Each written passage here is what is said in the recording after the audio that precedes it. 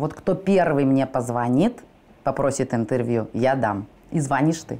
Янка россиянка. Я те, кто быдло. Бывших алкоголиков не бывает. Согласна. Попробовала алкашку, которая мне также сказала, на колени, сука, сидеть не мыркать. Про всю эту ситуацию с Ефремовым. Он убил человека. Это болезнь. Лестница, веревка висит. Выезжаю на встречную. Представляешь? Мурашки. Вам. Да, я пережила сына. И доктор около меня сел и сказал такую вещь. Тебя убивали. Сигарева в рехаб силой не повезешь. А на Айваска я была.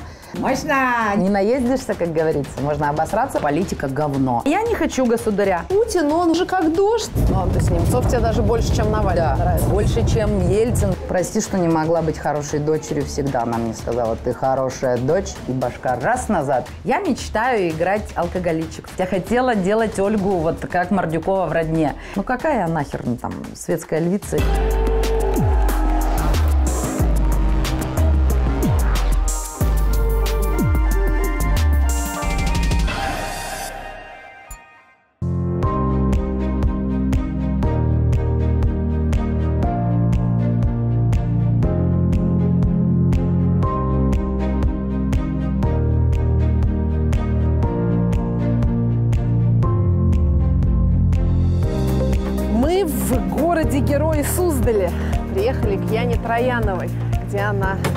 Проводит наше карантинное лето.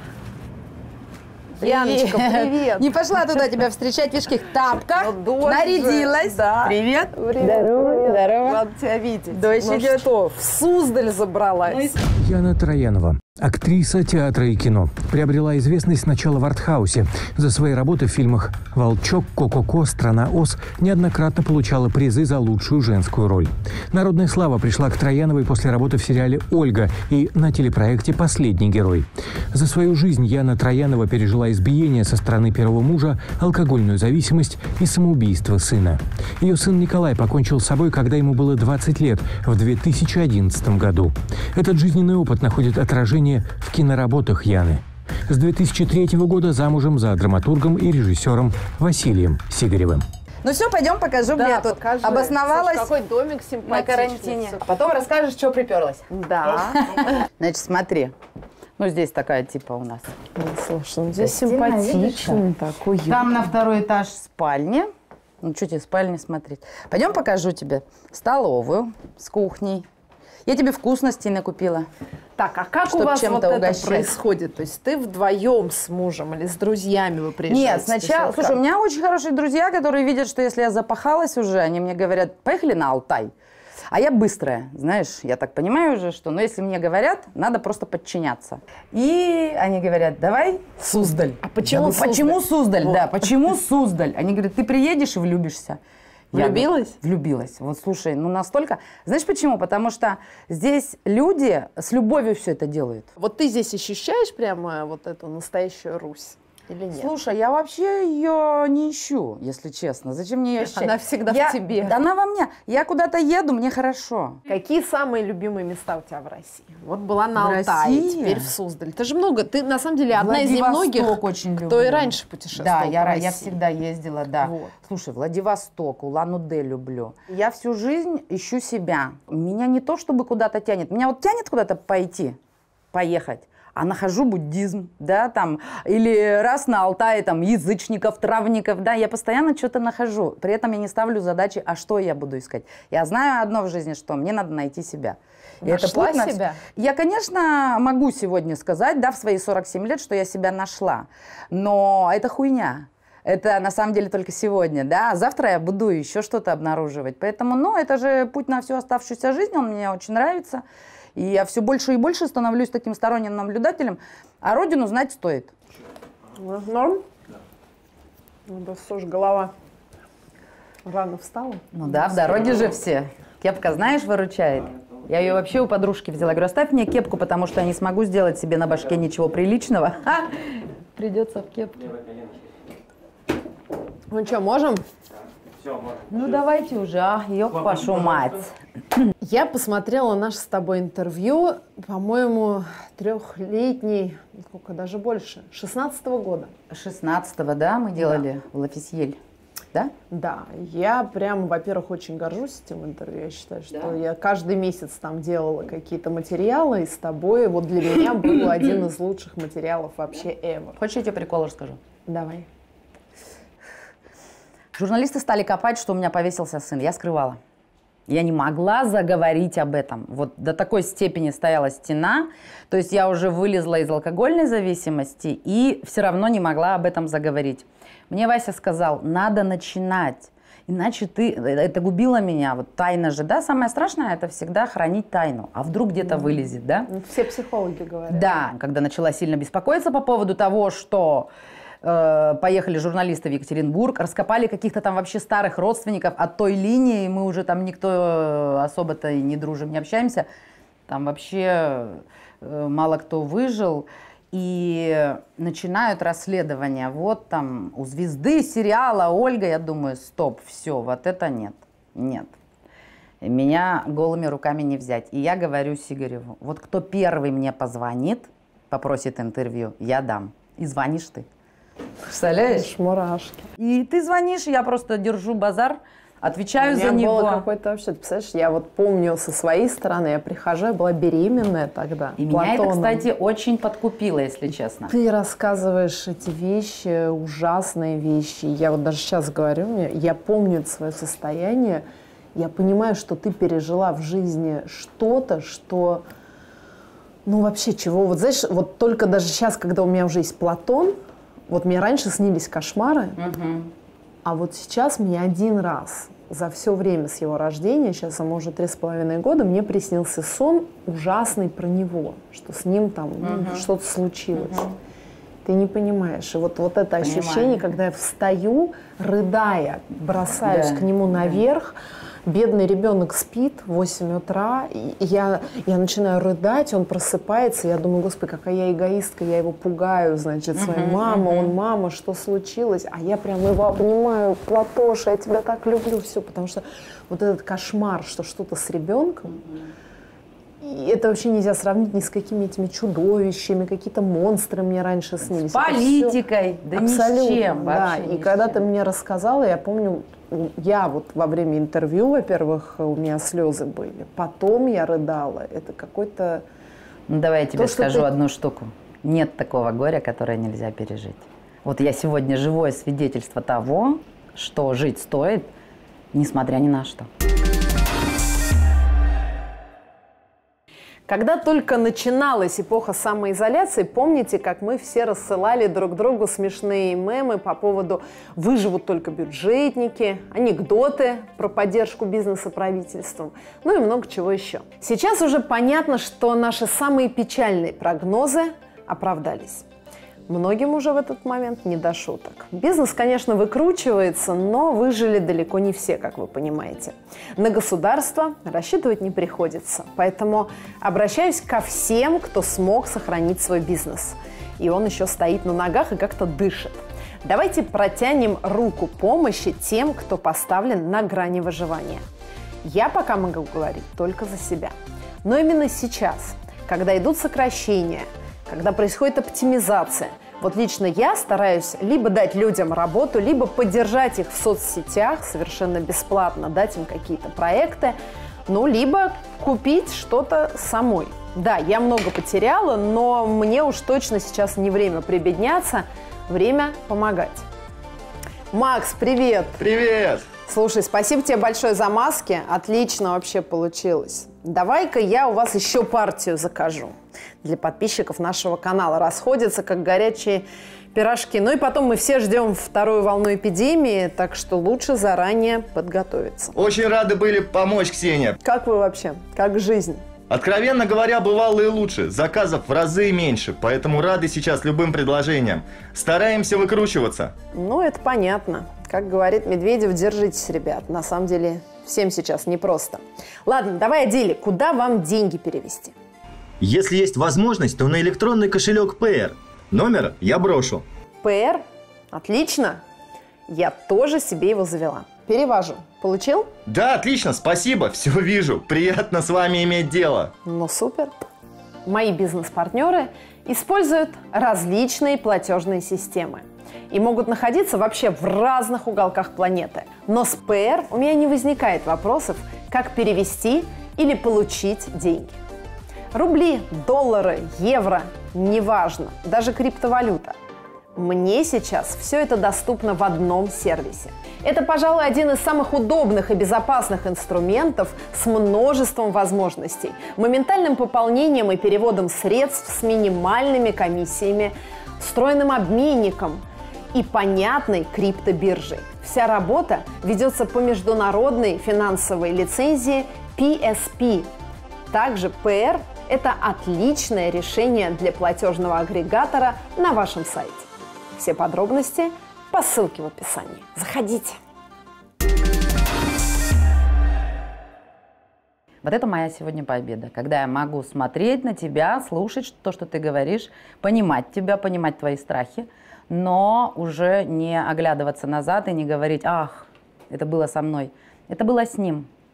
А вот мой эгоизм – это то, что я притягивала эту трагедию к себе. Как ты мог со мной так поступить? Вот когда я совсем с этим разобралась, я его с уважением отпустила, сказала, это твой выбор – а когда Значит, отпустила? Так. Вот ты тогда дала мне это первое интервью про Да, это я уже была близка. Вот я уже была близка к раскрутке, к той, что либо ты живешь нормально, либо ты не живешь. Потому что пока я бухала три года после того, как его не стало, были попытки что-то с собой сделать, но они трусливые такие были, знаешь, ах, вот не получается, ладно, еще подожду. У меня был один случай, я включила в машине, у меня спортивная машина была, э, Земфиру в машине, и я оставлю на память свои сигареты, потому что у него остались, э, осталась пачка сигарет, вот насколько человек решился, да, у тебя есть сигареты, у тебя есть где жить, и ты принимаешь такое решение, да, мне тут один э, хороший товарищ говорит, бросил курить, а обидно, в пачке всего не хватало две сигареты, и вот я ее выбросил. Я говорю, обидно, когда веревка на лестнице, лестница, веревка висит, где уже он не висит, веревку срезали, и лежит пачка Винстона без двух сигарет. Вот это обидно. Вот это обидно. Сука, ну покури, посиди еще минуту, да, и э, поменяй решение свое. Но оно было таким, видимо, стремительным, что не подумал даже перекурить. Побухав три года, а вот включаю я, значит, в, в машине, и я на память оставлю свои сигареты, и выезжаю на встречную и отпускаю руки. Ну, то есть трезвая, вменяемая, но вот понимающая, что я не вывожу, да, что я с этим жить не смогу. И э, не поверишь, и вот насколько эгоистка, человек едет в другой машине, да, а у меня горе, блядь, а мне уебаться надо, да, и скорость хорошая, вот та, что уничтожит. Похуй на меня, другого человека – и в этот момент не работает мозг вот так, как я сейчас говорю. Он работает так, что это же я принимаю решение, да, вот мое решение. Я убираю руки, летит машина, э, орет музыка, все как в хуевом кино, знаешь, вот, э, да. И э, мы уже близко были, и у меня руль сам отворачивает вправо на мою проезжую часть. Мы пролетаем вот так, мы успеваем, знаешь, вот будь-то вот увидеть друг друга, что прости, дорогой, потому что я охуела. И вот тогда начались движения... Ты лицо этого человека помнишь? Нет, это скорость была все-таки, да. И, но я помню будь-то человека. Я, я будь-то сердцем понимаю, что он мне сказал, ты охуела вообще.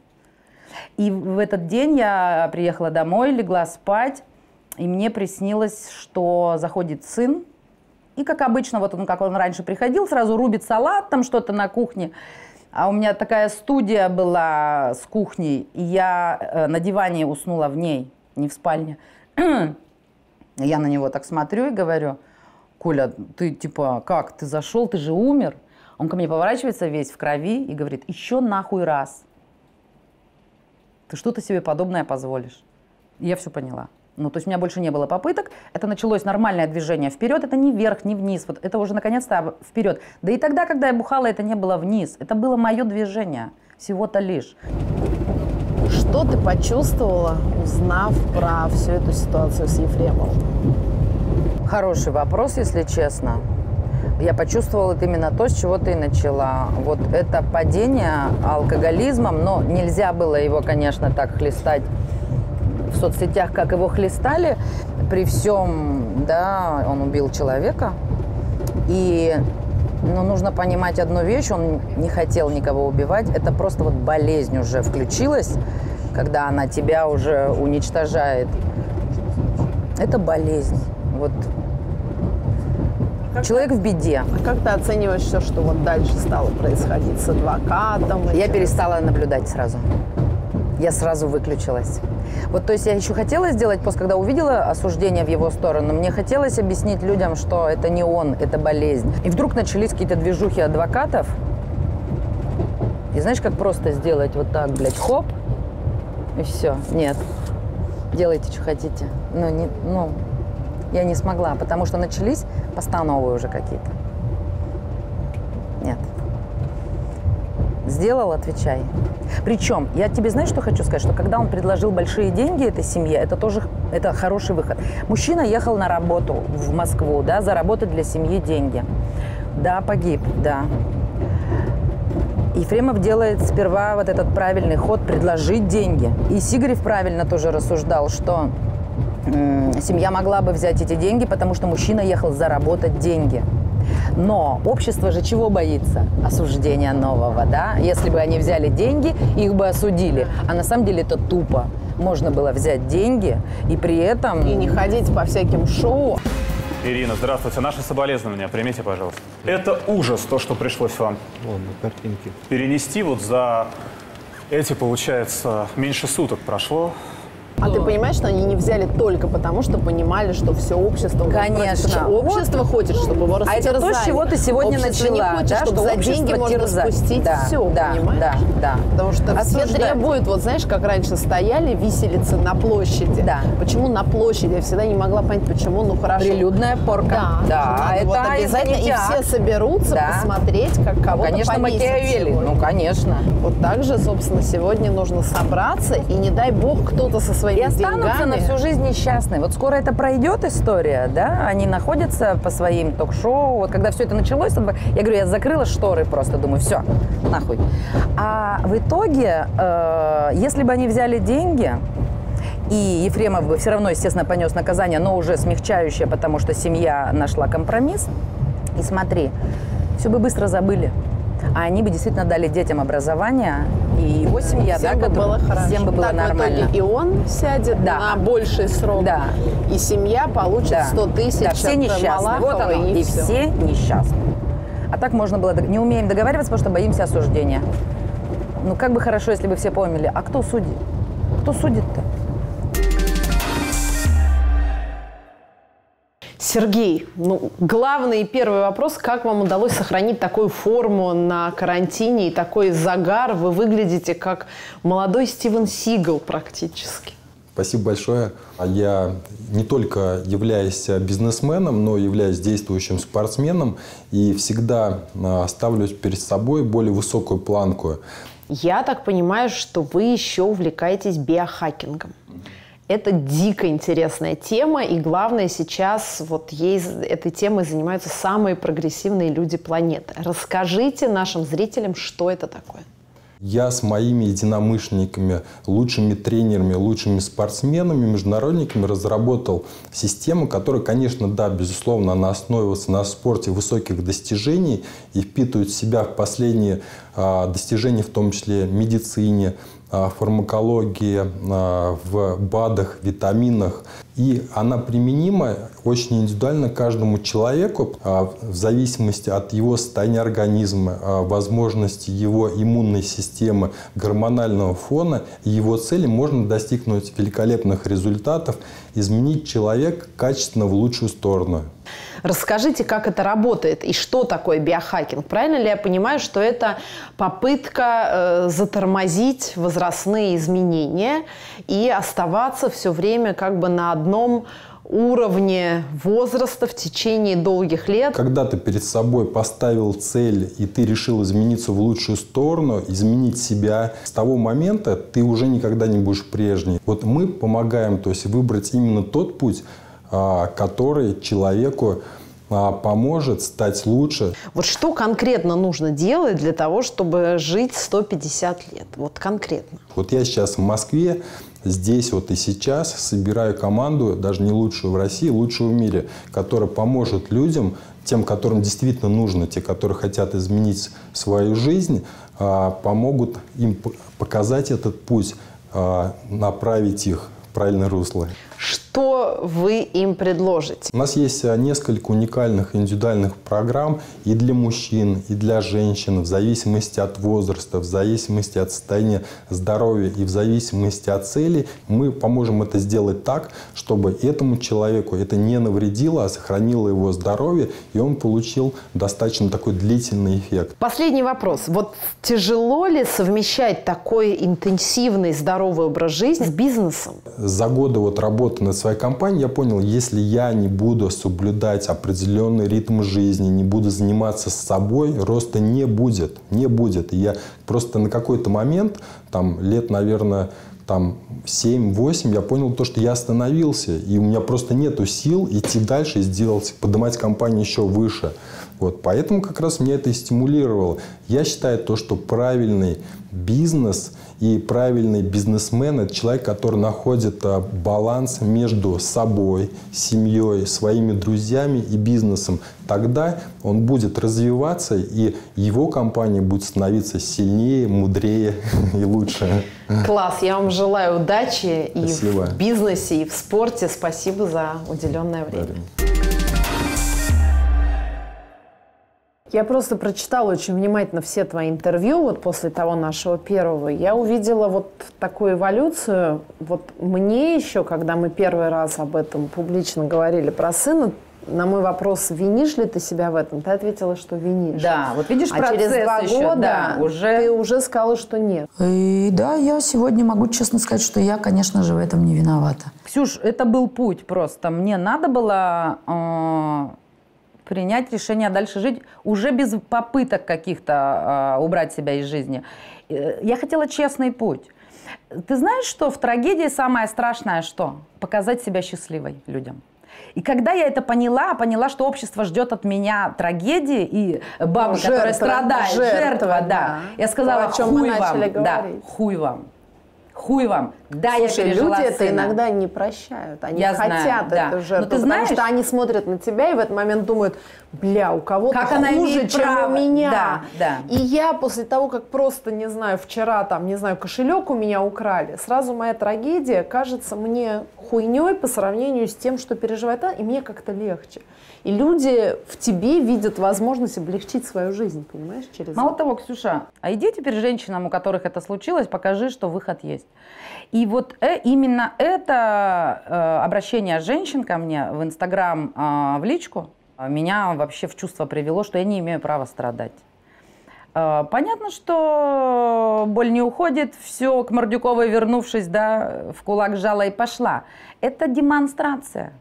Слушай, вот с этой Мордюковой, не кажется ли, что это, знаешь, какое-то, ну, уже до жути такое у тебя совпадение? Ты все время говорила всегда про Нону Мордюкову, и ты реально на нее похожа. люблю. И Я, кстати, недавно, ты знаешь, ну, чтобы хоть как-то перебить это ощущение от Бесогон ТВ, я пересмотрела фильм, который очень люблю, «Родня» Михалкова. Да, да, да, но это вообще... Я всегда правду говорю. Да кому она твоя правда нужна? Правда. Один уже от твоей правды сбежал. Он не сбежал. Я его сама выгнала. Любила больше жизни и выгнала. А как ты думала? Чтоб я жила с таким баламутом? И она там, я Ольгу конечно, начинала шикарная. с химией, поправилась. Я хотела делать Ольгу вот как Мордюкова в родне. Вот разве что я себе не сделала бы золотые коронки, потому что ну, это четко тогда я уже. А я прямо поправилась. Э, как раз только вообще в этой жизни что-то там оперяться начала в плане восстанавливаться после трагедии. Химию сделала. Да представляешь, что НТ не захотели, они пересняли потом пилот, сказали нет. Не надо. Э, ма, ты что, больная? Да и лузились со своим Андрюхой. Да, мам, не надо! Пехалю так надо было своему говорить. Ты что, мой рекорд решила побить? Раньше 17 родить. Да стопэ, стопэ, это схема! И ты, конечно, это ее какая-то реинкарнация сейчас. Не знаю. Не знаю. Не Мне чувствуешь кажется, это? Нет, я не Но чувствую. даже по судьбе, по ужасу там каких-то вещей, которые с Таких тобой судеб много. Ксюш. Много. Людей и молодежи гибнет гораздо больше, чем мы сидим тут и рассуждаем. Да? Очень много погибло людей, молодежи от наркотиков, от алкашки, от э, трагедий каких-то там тупых, нелепых и так далее, самоубийства и тому подобное. Это, это путь, и у нее путь как раз у сына тоже с наркотиками связанный. Я только после смерти узнаю такие подробности, что он попробовал героин. Он понял, что он уже не спрыгнет. Да, вот, то есть вот именно тот какой-то вонючий, чмошный героин, который дает тебе понимание, что все, ты попался. Да? Мне просто не суждено было в жизни это попробовать, да, но я попробовала алкашку, которая мне также сказала, на колени, сука, да, сидеть не мыркать. Все, я твой повелитель. И я это раскусила тоже, да, что мной повелевает алкоголь.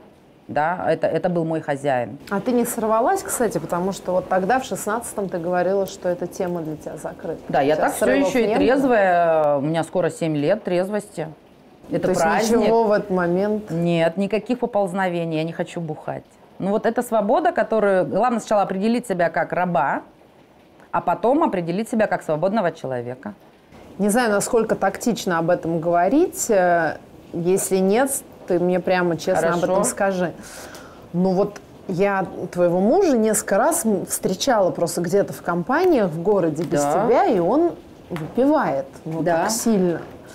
Это не сложно, вот когда ты в завязке, быть рядом с человеком, который сильно пьет. Это же Да, завязка искушение. и отказ э, принятия решения – это разные вещи, да, то есть вот я приняла решение не пить, а его решение а, продолжать пить. Понятно, что мы раньше вместе бухали, это было очень классное время, Вот. весело, все, и, конечно, ему стало потом со мной даже скучно, я это видела, и, конечно, он поперся пить в Москву, да, но это его личное дело, вот чем быстрее еще и к эт- это тоже был новый этап, когда я вдруг поняла, что моя трезвость никого не касается, да, что он мне не вещь, он мне не вот этот муж, который там объелся груш, а он чувак свободный, который может делать то, что он захочет. Сегодня ну, вопрос это- не в этом. Я сейчас даже не про осуждение и Это- прочее. Я просто знаю вот по себе. Например, вот я прохожу какой-нибудь там двухнедельный детокс. А при тебе А со мной рядом там мужчина, который жрет, понимаешь? и И я начинаю угодно. в какой-то момент, ну, сука, его ненавидеть, ну, хули ты жрешь? Я там, Потому что понимаешь, ты- страдаю, у меня куриная грудка, а ты, понимаешь, тут... э, Ты, ты хочешь влиять на его волю? Ты хочешь, чтобы все подчинялось тебе? Нет, я хочу, чтобы меня это не соблазняло. Так понимаешь? это мне значит, ты быть с руководишь процессом, ты ему говоришь, а ты типа, ничего, что я тут голодаю. Ну вот если бы я сказала ему, да, ничего, что я трезвая, а ты тут бухаешь, да, но он бы мне сказал наверняка, да не пошла бы ты нахуй, да. А вот э, со временем, да, со временем, между прочим, Вася дома не пьет сейчас. Хорошо, говорят вот, что бывших проституток и бывших алкоголиков не бывает. Это Согласна, да. Поэтому, помня, что я алкоголик, я не употребляю правда? То алкоголь. ты хочешь сказать, ты реально вот не проходит дня, чтобы ты об этом не подумал? Проходит. Почему? Вообще таких нет дней, что я думаю о бухле. Но я должна помнить э, вот это вот э, мою несовместимость с алкоголем. Ну вот как сегодня я не, не могу употреблять молочные продукты. Мне будет плохо. И я их не буду есть. Я помню об этом. Я помню, что у меня есть аллергия на молочные продукты. Все, А точка. длинный список этих запретов? Вот что еще вот точно никогда ни при каких обстоятельствах? Алкоголь, молочные продукты, что еще? А, а дальше Наркотики, люди. да. А дальше люди. То есть есть люди, с которыми ты вообще не общаешься? Нет, не в этом дело. А дальше люди. Не употребляй людей.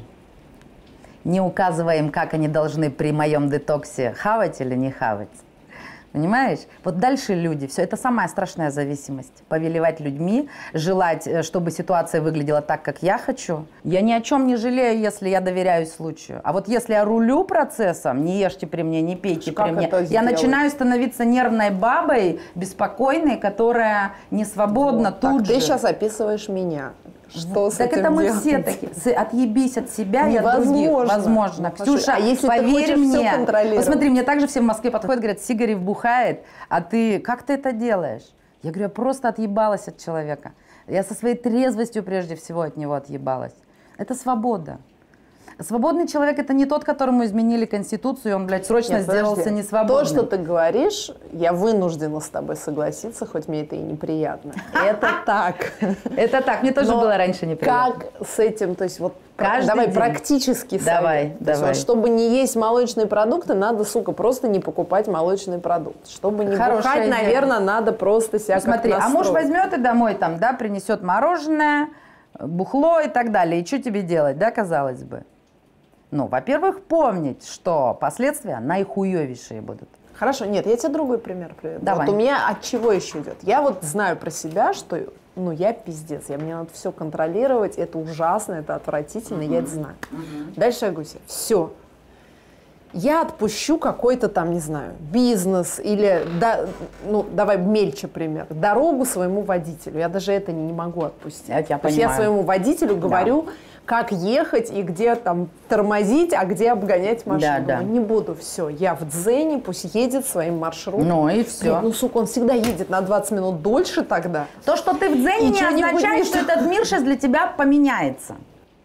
Вот будь готова к тому, что никто ничего не поменяет в себе. И так, только при таком обстоятельстве, если ты не ожидаешь и не ждешь, и не надеешься, убей надежду нахуй уже. Подожди, но Убей ты её. разве не видишь, что иногда при твоем Вижу. давлении и вмешательстве все получается быстрее, лучше, эффективнее? Как только ты что-нибудь отпускаешь, получается какая-то хуйня. Если ты о профессии, там, о работе, все понятно, что это совместное, да, вот все равно нужно твое участие, нужно участие твоей команды. Если ты вообще про жизнь в целом, и если ты действительно хочешь находиться в, в дзене, он не дзен, потому что, я почему его в кавычки ставлю, никакой это нахуй не дзен. Ну да. Дзен – это отъебаться как раз от этого мира. И, и- и довериться. Вот доверие, вопрос доверия, Ксюш.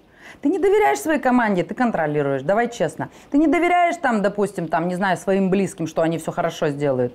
Ты делаешь сама. Ты будешь сыну шнурки завязывать до тех пор, пока ты не скажешь. Блин, потому что я чуть-чуть ослабляю хватку, Да. они-то, сука, И ты понимаешь, даёшь, видео да. из ОВД Я тебя прилепят. очень понимаю, я То это прохожу и проходила, понимаешь? да. И дальше я единственное смотрю интервью Дудя, думаю, блядь, ну и там хотя бы звук запороли, я не одинока в этом мире. Да и плевать, Понимаешь? ну, То есть, хороший враг лучшего-то на самом Ну, деле, подожди, понимаешь? но это же про контроль. Как только ты ослабляешь чуть-чуть контроль, Ты понимаешь, получишь что кроме новое. тебя никому Смотри, это всё пока не ты нужно. контролируешь, ты получаешь то же самое, что делает Собчак. Как только ты отпустишь контроль, ты получишь больше.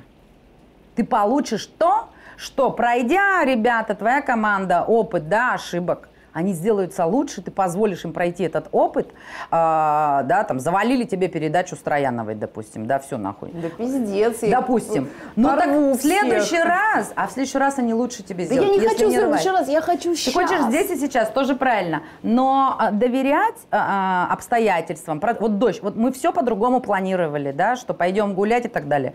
Тебе плохо сейчас, что мы не пошли гулять? Ну нет, ну с тобой всегда хорошо. Да здесь и сейчас всегда хорошо, не только со мной. Вот не может дождь на меня сегодня повлиять, чтобы сказать, интервью отменяется, блядь. А хули ты тогда на митинги ходишь? Вот скажи мне, милая Это- моя, с это моё дзеном. желание, Ты тогда да. должна Это- сидеть это мой и тоже как дзен. БГ мне говорить, ну, Путин, он вот же, он же как дождь, вот есть Путин, надо принимать судьбу свою. Вот, Э, значит, так нужно да. нашей стране. Гулять-то Чё мне надо. за Голунов, Сафронов, за Навального топить? Зачем?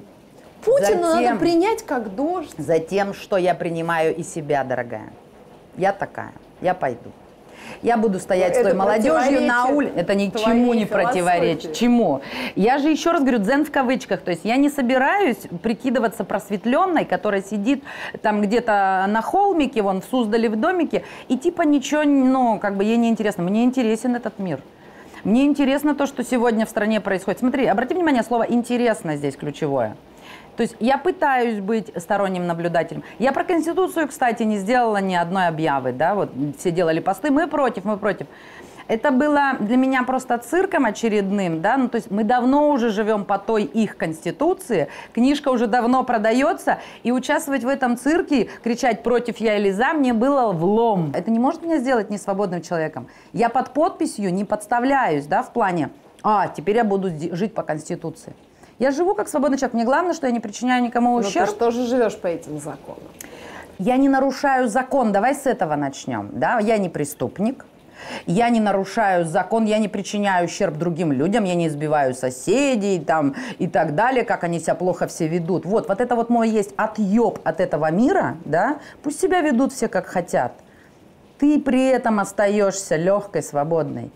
То есть меня ничего уже не раздражает в том смысле, что э, ах, они переписали Конституцию. Да давно уже она переделана, уже Смотри, давно. Я пытаюсь твоей же оперируя логикой, понять границы этого дзена. Вот мы посчитали с редактором, ты за последний год 10 Сидят там, раз... считают, блядь. Да. Работа какая у тебя сложная. Считать 10 сидеть. раз была на митингах. 10. Я Это на всех до хрена. была. Да, ну конечно.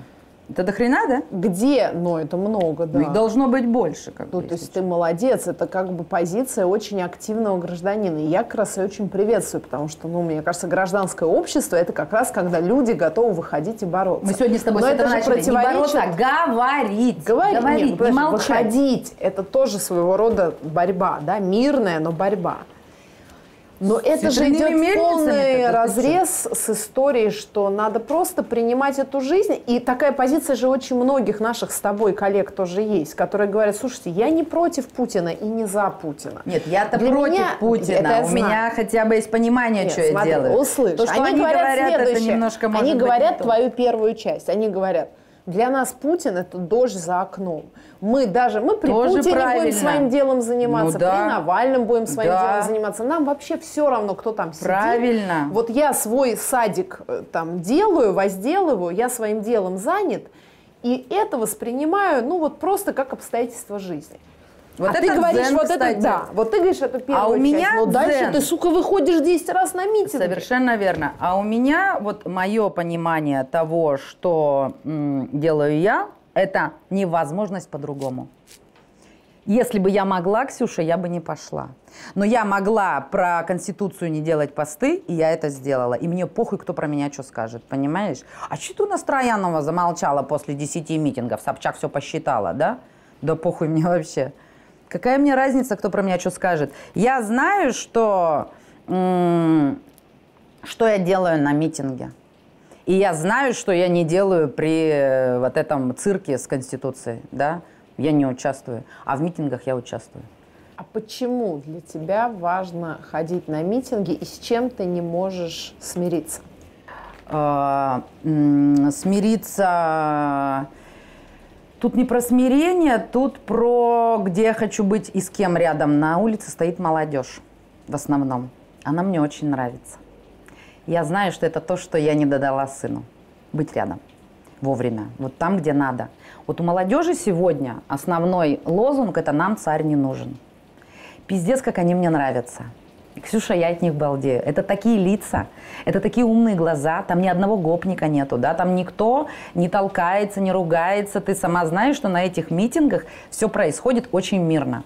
Мне нравится, я хочу быть рядом с ними. Ты всегда заступаешься вот за тех, кого одного клюют все. Предпочитаю, да. Предпочитаю, да.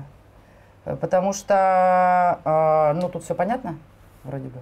Ну, не всегда. Слушай, иногда начинают, вот сейчас же мир переворачивается, иногда начинают клевать, э, ну, как тебе сказать, вот сейчас, например, вот я чувствую, что меньшинством становятся люди с такими правыми консервативными Это всегда так, взглядами. Ксюш, было. Это все возрастное, это все пройдет, потому что на самом деле вот э, я не знаю, что со мной происходит, я все больше и больше становлюсь сторонним наблюдателем, и ни в одном кипише не участвовала, как вот пообсирать или осудить.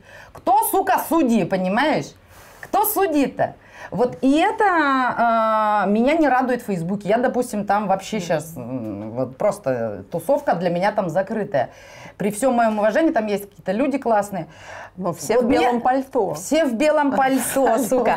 Э, Мне, знаешь, мне больше даже стал Инстаграм нравиться. Вот, ну, э, люди, которые на меня подписаны, они знают, что я лодырь. Частых постов не будет. Вот сегодня борщ запостила там, не знаю, или там вот, вот мой домик. Не, ну вот. говна тоже. Вот я помню, когда Слушай. ты стала ведущей последнего героя, я тоже я удивляюсь. Господи, Яна, позитивный человек. Открываю, и даже там говно. Вот она, высокомерная, ведет себя как хабалка. Никому же не угодишь, всем не угодишь, это нормально. Ты со мной решил разборочку устроить? С тобой нет. Ян, давай без наездов, пожалуйста. Еще и не наезжать на вас. Да вас пороть уже надо с утра до вечера. Ну-ну. Это мне все не нравится, поэтому я не в соцсетях. Инстаграм я делаю редко, что-то там сообщаю своим поклонникам. Отписалась от всех фан-клубов, это классно. Э, Они растут, ну и, в общем, это их дела. Хотят расти, пусть растут. Я им всегда предлагаю не заниматься хуйней. Говорю, хватит э, смотреть на меня, посмотрите на себя и сделайте что-нибудь большое и хорошее.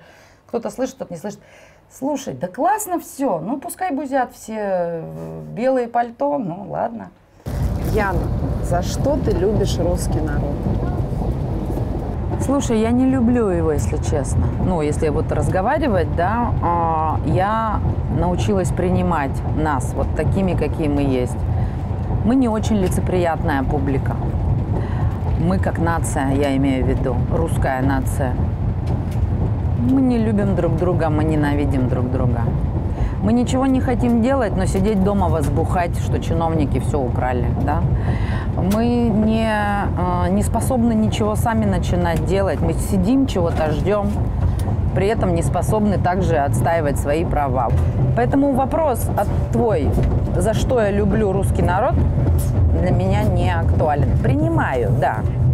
Не испытываю уже ненависти. Я раньше ее всегда испытывала. Я всегда испытывала раздражение. Я никогда не мирилась с людьми, которые жили вокруг меня, вот с моим окружающим миром. Никогда. Я их не выносила.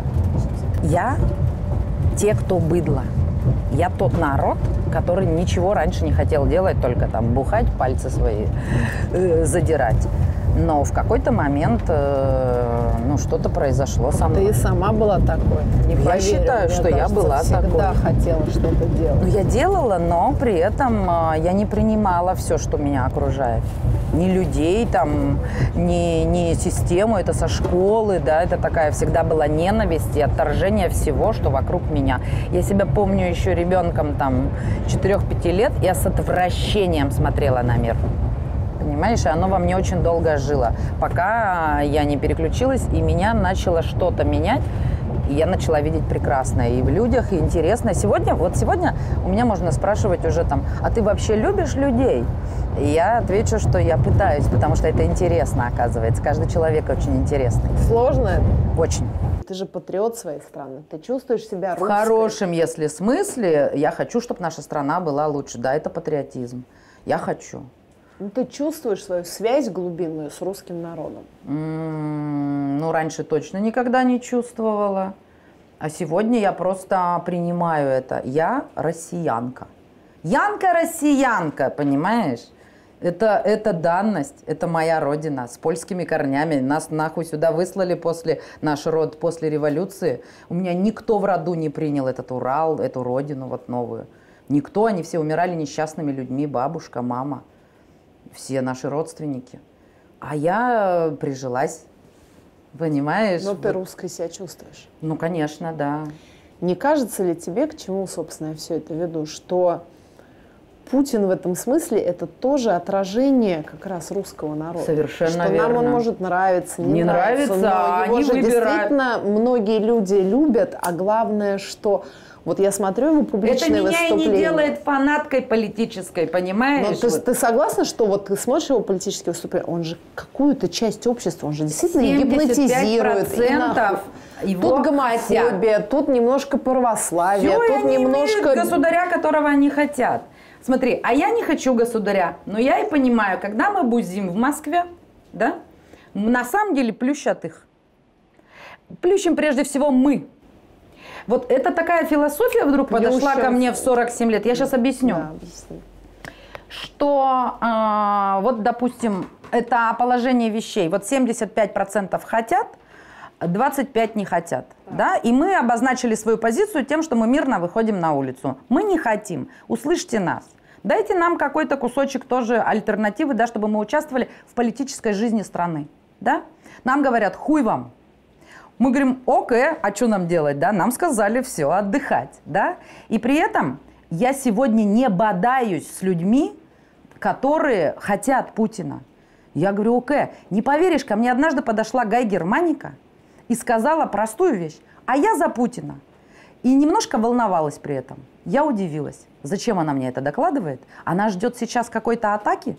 Она ждет сейчас, что я включу пропаганду? Вот в демократии пропаганда невозможна ни с чьей стороны.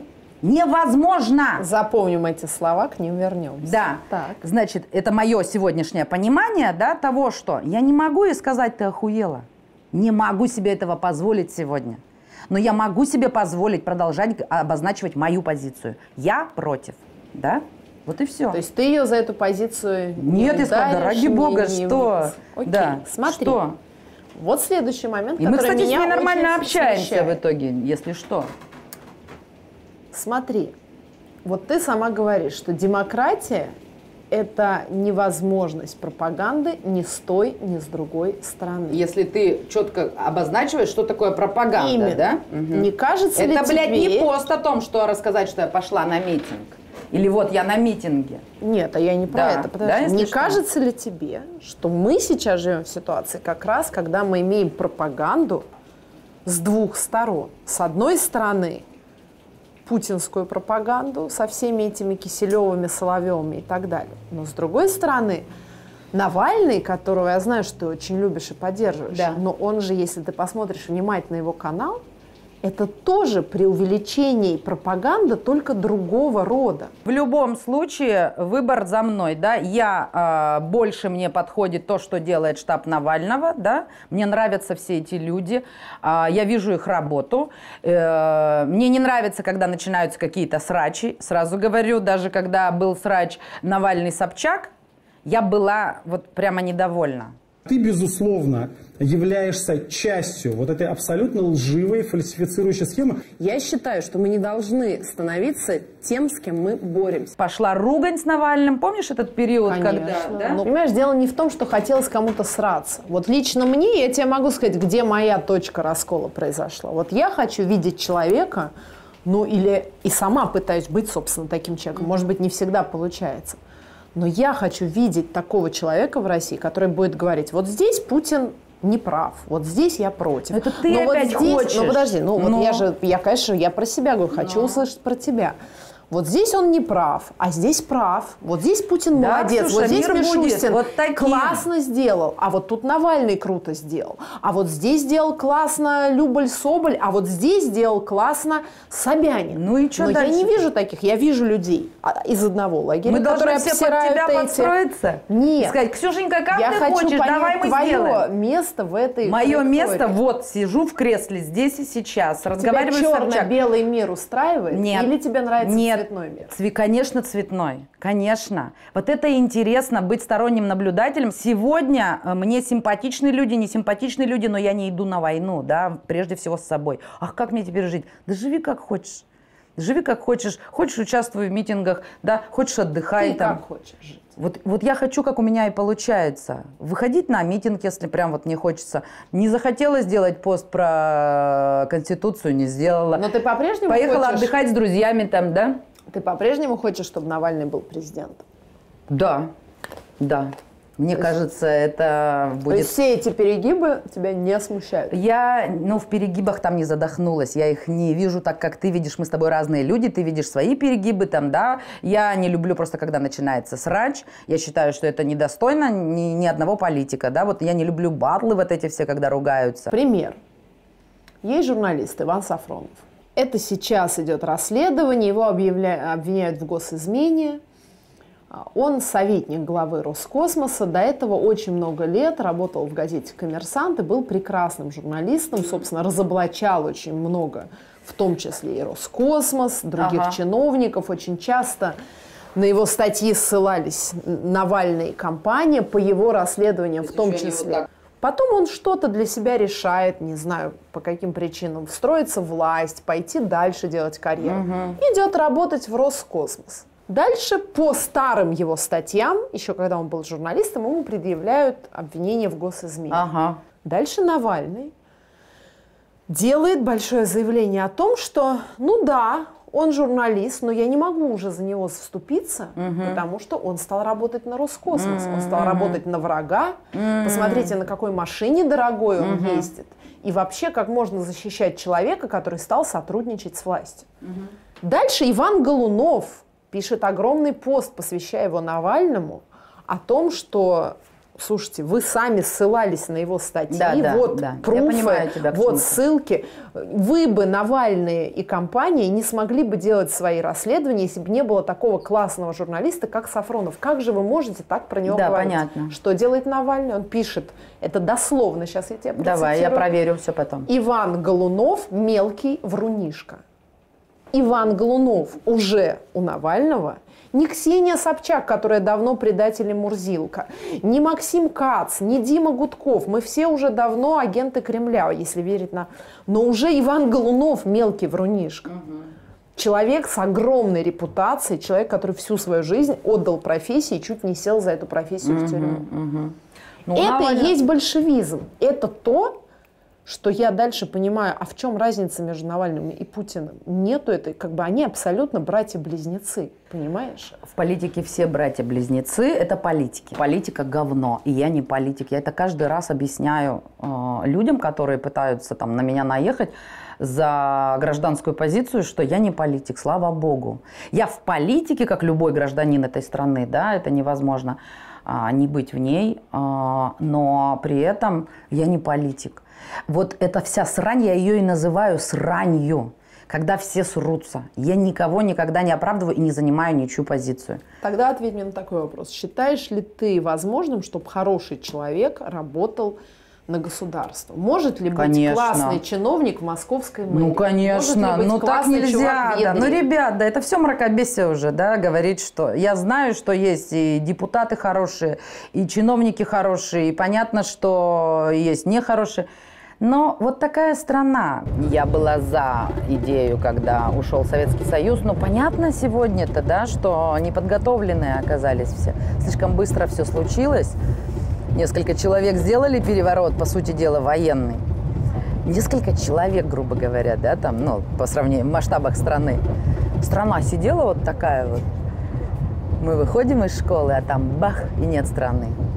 И челночники. Фу, фу, фу, учителя на рынок, врачи на рынок. Был пиздец, но было интересно. Я была за, но мы просто очень молодые были, понятно, нам нравилось. А взрослые-то наши родители, они охерели. Они вообще не знали, куда себя деть.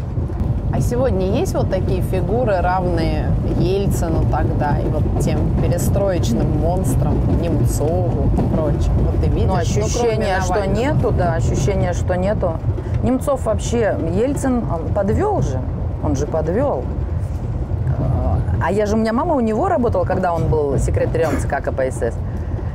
Машинисткой. Работала у него машинисткой? Да, их такой был маленький цех машинистки.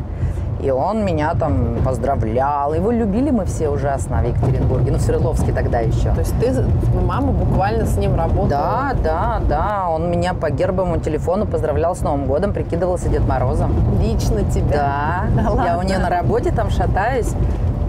Она Яна, иди-ка тебя Дед Мороз к телефону. Да, он сам вот увидит, что там у Татьяны, у моей мамы, дочка тут.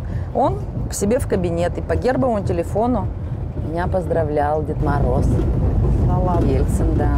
А Мы его очень любили все. Он был очень простой, вот доступный. Вот доступность нравится. Мне очень доступность нравится.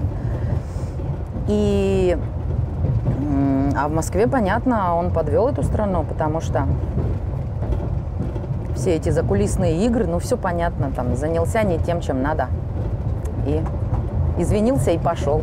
Я ухожу в отставку. Я хочу попросить у вас прощения. Не принято. На самом деле, ну, хоть и это круто, что человек извинился, но не принято. Ну, я не смогла это принять. Слишком большая ставка была. Ну и потом, вообще в этой истории красавчик-то Немцов, вот во всей истории. Кстати, наш первый э, поход вообще на какой-то митинг в Москве, это на когда с Немцовым прощались, было шествие. Вот это наш прям в Москве с Сигаревым первое шествие. Тебе не кажется, его при жизни меньше гораздо ценили, чем после смерти? Мне кажется, его как раз ценила глубинка России, вот где он был губернатором, вот это вот все, мы движуху в Екатеринбурге понимали, мы все там фанатели от Немцова, моя мама, все, все понимали, что пришел крутой политик. И вот сейчас все изменится. Но мы знаем все его историю печальную, как на него все было, в принципе, свешено, да, и в итоге еще и убит. Такого не вижу, нет, такого нету. Ну, то есть Немцов тебе даже больше, чем Навальный Да, нравится? больше, чем Ельцин, больше, чем все. Немцов был вот... э, мама обожала его. Ну, мама, слушай, и к Навальному ездила. Она на суды ездила. У меня мама была очень продвинутая. То есть мама Она тоже всегда- топила за Навального, ездила да, на ездила суд. к нему на суды тогда еще, когда мы не топили даже за Навального. То есть раньше, чем ты? Да. То есть это она тоже такая была да, у тебя? да, она, она не безразличная была к тому, что происходит в стране. Я ни одному человеку не могу сказать в глаза и за глаза, что вот он, сука, он за Путина. Ну, а ты тогда кто? Ты такая же сука, значит, да, которая вот стоит и осуждает. Не надо. Вот это как раз дебри, куда я не полезла, слава богу, в жизни. Я ни с кем не бодаюсь из-за их позиций. А есть у тебя друзья путинисты? Конечно. Работаем вместе, дружим, троллим друг друга, ты не представляешь. И это классно. Вот юмор, он спасает все. И, кстати, это все вот команды те же там э, на ТНТ, да, проект Ольга, последний герой. Мы очень замешаны. Разные национальности, вероисповедание, да, позиция. Вот это демократия и есть. Никто никого не плющит, никого за это не увольняют.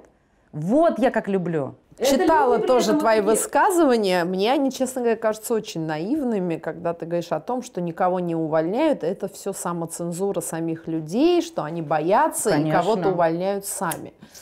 Ну, по крайней мере, Ну, смотри, я Ты понимаешь, ты того, ограничиваешь себе карьеру все равно такими какими-то Ой, вещами. Ксюшечка, какую карьеру, скажи, пожалуйста. Давай, о чем мы говорим? Ну, смотри, мне кажется, что все равно, когда речь идет об актерской карьере, Ну. каких-то больших фильмах, проектах, каких? то есть условно, Которые я не смотрю? не, ну будет какой-нибудь крутейший блокбастер, Ну, и будешь ты в списке кандидатов. так.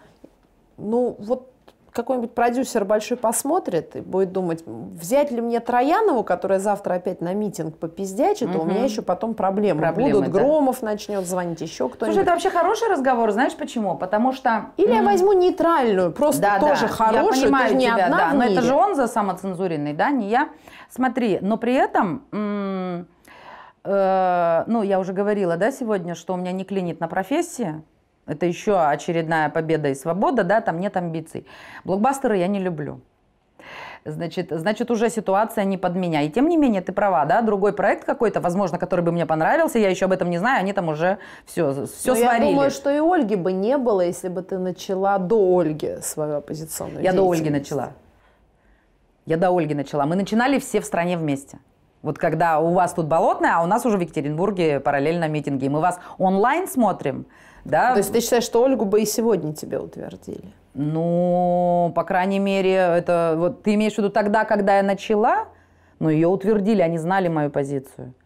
Дальше они увидели эту позицию уже плотнее, я переехала в Москву, да, и, ну, мне ни одного звука Хорошо, никто не честно скажи, были просьбы умерить Ни свой- одной. Ни Вот одной. ни разу. Ни одной. Ну, они видят, что я не безумная. Ольга же идет на ТНТ. Да. Ну что, ни разу тебе Ни разу, ни Ксюша, ни Чопов, разу. ни Петренко, Никто. не подошел и Никто. сказал, ну, Ян, ну, Мгм. блядь, ну, чуть-чуть угомонись.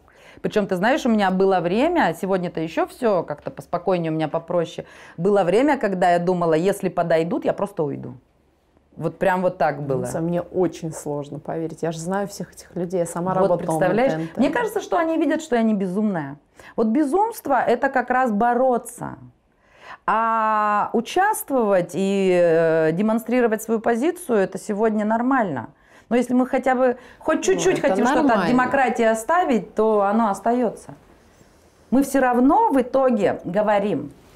Все Почему равно люди боятся? Ведь ты же сама знаешь, что многие актеры боятся высказываться именно, чтобы не потерять возможность. Потому что вот вы э, ведете вот эти разговоры, вы журналисты, интервьюеры, да, вот вы об этом, разг- вы задаете эти вопросы. Слушай, ну не на пустом месте это все. Не знаю. Смотри, как только э, пошли базары за мою позицию в стране, кто мне начал эти вопросы задавать? Звонить журналисты. Яна, а вы не боитесь, что вас уволят? Я говорю, нет. А прокомментируйте ситуацию. Я говорю, а нечего комментировать. Все нормально. А что, к вам никто не подошел? Нет. Вот если мои близкие бы мне, вот это трагедия, вот если бы мне мои близкие сказали, да, там вот тот же Вася Сигарев, да, ты это, я бы сказала, чувак, странно, что мы вместе, да. Про страну Оз хочу с тобой поговорить. Давай. Это вообще один из моих самых любимых фильмов. Спасибо. Вот я хочу сказать, и дам ссылку в описании. Если вы не видели, посмотрите. Ну, я правда считаю, что вот он входит в тройку моих самых любимых Что еще? российских фильмов. Елена Угу. Звягинс. Это мой самый вообще любимый Я Елену не фильм. полюбила, ага. А мне прямо вот, Ну, супер. знаешь, «Страна Оз». Ну и, кстати, знаешь, как ни странно, мне «Свои» очень нравится фильм. «Свои» я не помню, видела. Месхиева про войну. Могла не видеть. Ну, хорошо. Вот. И, ну это же, понимаешь, очень злая картина на самом деле. Она Ой, саркастичная. мне кажется, она такая добрая. Шабадинова! С Новым годом! Его нельзя так делать. Да ну нахуй, что такого?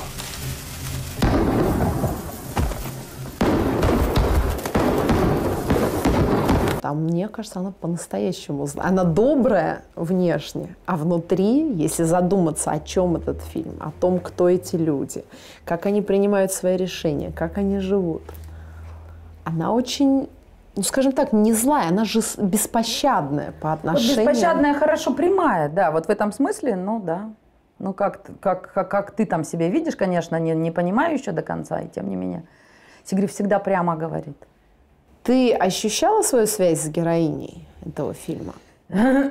Смотри, я тогда выпала из э, употребления алкогольного, неожиданно совершенно, приняв решение больше не употреблять. Прошло всего два месяца, и я начала сниматься в стране Оз, трезвая. И мне было очень сложно вообще что-то ощущать тогда в той жизни, но а, я брала м, последний свет, который у меня оставался во мне еще, последний свет и вкладывала в эту вот девчонку Шабадинову. И я увидела в ней а, свою сторону. Вот сторону как раз м, человека, не способного жить не способного э, самой себе сопротивляться, да, и говорить. Вот, то есть, вот ей нужно было в башку выстрелить, чтобы она изменилась, понимаешь? Чтобы она наконец-то жить научилась. И тогда я увидела в этой девке выход для себя, что э, мне сейчас прострелят башку, и я до конца уберу в себе этого человека, не умеющего жить, не способного м, сопротивляться, хотя у него там есть подуги, а потуги заступиться за Чурикову, да, там, как вы можете с мамой бух въебала сразу, да, получила. И при этом м, м, двигается дальше с фингальчиком, но двигается. Я здесь сейчас все задамажу! Вы зачем так с мать? Витя! Ваншот! Когда Если въебали, меня нужно въебать в ответ, вот скажи. Если э, ты чувствуешь, что при этом будет второй удар, может быть, и уже стоит э, за себя постоять, потому что это моя ответственность за мою жизнь. Да? Меня ведь так, если я буду ручки-то опускать и прибьют совсем. Но если это удар, который ты понимаешь, что человек болен, да, он ну, просто впал в деградацию, у него распад личности, да, вот он на тебя нападает, надо отойти в сторону. Потому что вот с ним бодаться – это совсем тупо. Вот это глупая жертва была бы. Для меня сегодня это глупая жертва. Сегодня я обхожу углы, где э, э, человеку я позволю дальше падать. Вот он меня будет бить, бить, бить, бить. Вот как первый бы мой муж, да, там. Вот как метафору даже это возьмем. Вернуться в семью тогда, это было бы для меня, означало бы глупая жертва. Блять, это опыт. Да? Это опыт, который я прошла, и сегодня эта драгоценность нужна, там, не знаю, моим поклонникам, да, это мой драгоценный опыт, которым я могу поделиться и сказать, девки, там, не молчите, если вас мутузят дома, выходите, пишите заявление, эти чуваки должны сидеть, допустим, да, не мне там э, решать по закону, как они будут это наказание выполнять, но бегите, прежде всего я им есть ты рекомендую бы сейчас бежать. не молчала, вот если бы это было А я и сейчас тогда не так. промолчала. Я сделала Потому ты движение. же заявление не писала, насколько я Совершенно помню. верно. Я просто вышла из этой семьи. Это было лучше. Действие было лучше. Меня уговаривали э, следователи. Они приехали в больницу. Э, меня, когда немножко в себя пришли, сотрясение, привели, э, сотрясение было очень сильным. И доктор около меня сел и сказал такую вещь. Ян, тебя не били. Тебя убивали. Я услышала.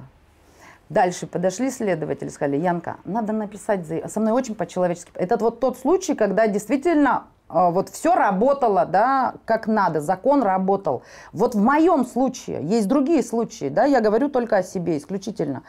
Значит, э, надо сажать. Он зверь, да? А, я говорю, мне мать его жалко. Ну, серьезно. Тебе прям следаки сами говорят. Нормально да. мужики вот так сели и сказали, я надо, он зверь.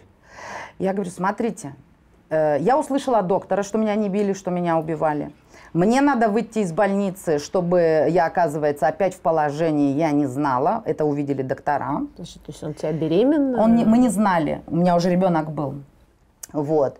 Значит, мне нужно выйти отсюда. Мне доктора предложили раньше выйти, чтобы сделать аборт, чтобы не, не опоздать. Потому что было принято жесткое решение не рожать от этого человека, развестись. Я вышла с фингалами, еще красные белки были, не было жив- живого места на лице. Я зашла в суд, написала заявление, судьи не, судья была на месте, не было секретаря. Она говорит, хорошо, я у вас приму. Я снимаю очки, она читает, а, развод, понятно. Я снимаю очки, я говорю, а сколько это будет длиться? Она на меня вот так посмотрела и сказала, я моментально тебя разведу. Вот тогда все было на моей стороне. Понимаешь, мне просто помогли э, вот вышагнуть оттуда. И мама, естественно, тоже, которая села и сказала, не, нихуя, так жить нельзя. Просто мне 17-летней девчонке, 18 мне уже тогда было, да, я в 17 родила, 18, взрослые люди протянули руку помощи. А главное, сориентировали меня по жизни, да, что этот чувак должен сидеть, я не должна молчать и там терпеть чего-то, да. Я выхожу из семьи, то есть вот развод обеспечили действительно моментально, на суде его даже не спросили. Он решил, что моя мать все подкупила, на самом деле судья вошла в положение. Она видит, что молодая девка, ей сейчас просто перекосит жизнь напрочь, да. Человек, который там морально неустойчив. А это был первый раз? Это первый... Нет, э, избиение не первое, вот такое жестокое, а первый раз. То есть сама дура... Вот опять же, вот То Ксюша, до этого были, а куда я да? полезла? Да, вот. До свадьбы я уже от него получала. Значит, и маме солгала, что меня ограбили. Вот оно, молчание. Нихуя не золото, да? И отсюда я его не стала сажать, потому что я поучаствовала в создании этой ситуации. Я вышла замуж за человека, который не управляет собой, он больной ты человек. взяла ответственность на себя, Верно. хотя не Я должна поэтому была и не посадила брать. его. Вот поэтому я его не посадила. Но вышла из семьи, должна была взять на себя ответственность. И отсюда, а, понятно, чувак потом все равно сел, понятно, он всю жизнь все равно выходил, садился, выходил, садился, и в итоге он умер. поводу, да? Конечно, все равно А тоже из-за драка, чего? тоже драка, Тоже пожа- драка? тоже избил человека, понимаешь? Я все расчистила на своей улице, понимаешь, вот, и сказала, чувак, ты как хочешь. Э, Первый муж был человек очень умный, там прямо вот какое-то горе от ума было, перечитавший там всех философов и сошел, сошел с ума, потому что понимал, что он этому всему не соответствует, у него не получается жить так, как хочется. И это была трагедия, поэтому он меня бил, да. А спасать его ни в коем случае, потому что вот его путь, он хотел там Не, ну и вот спасать, слушай, человек э, бил тебя, избивал, Только чего его беги. спасать? Не-не-не, Только бьют, бежать, беги, да. Нет, я говорю, не знаю про твое сегодняшнее ощущение. Ты бы стала кого-то спасать, если бы М. чувствовала, что близкий человек в беде? Я дала бы шанс, но он бы был единственный. Первый и последний. То есть Сигарева в рехаб силой не повезешь. Нет.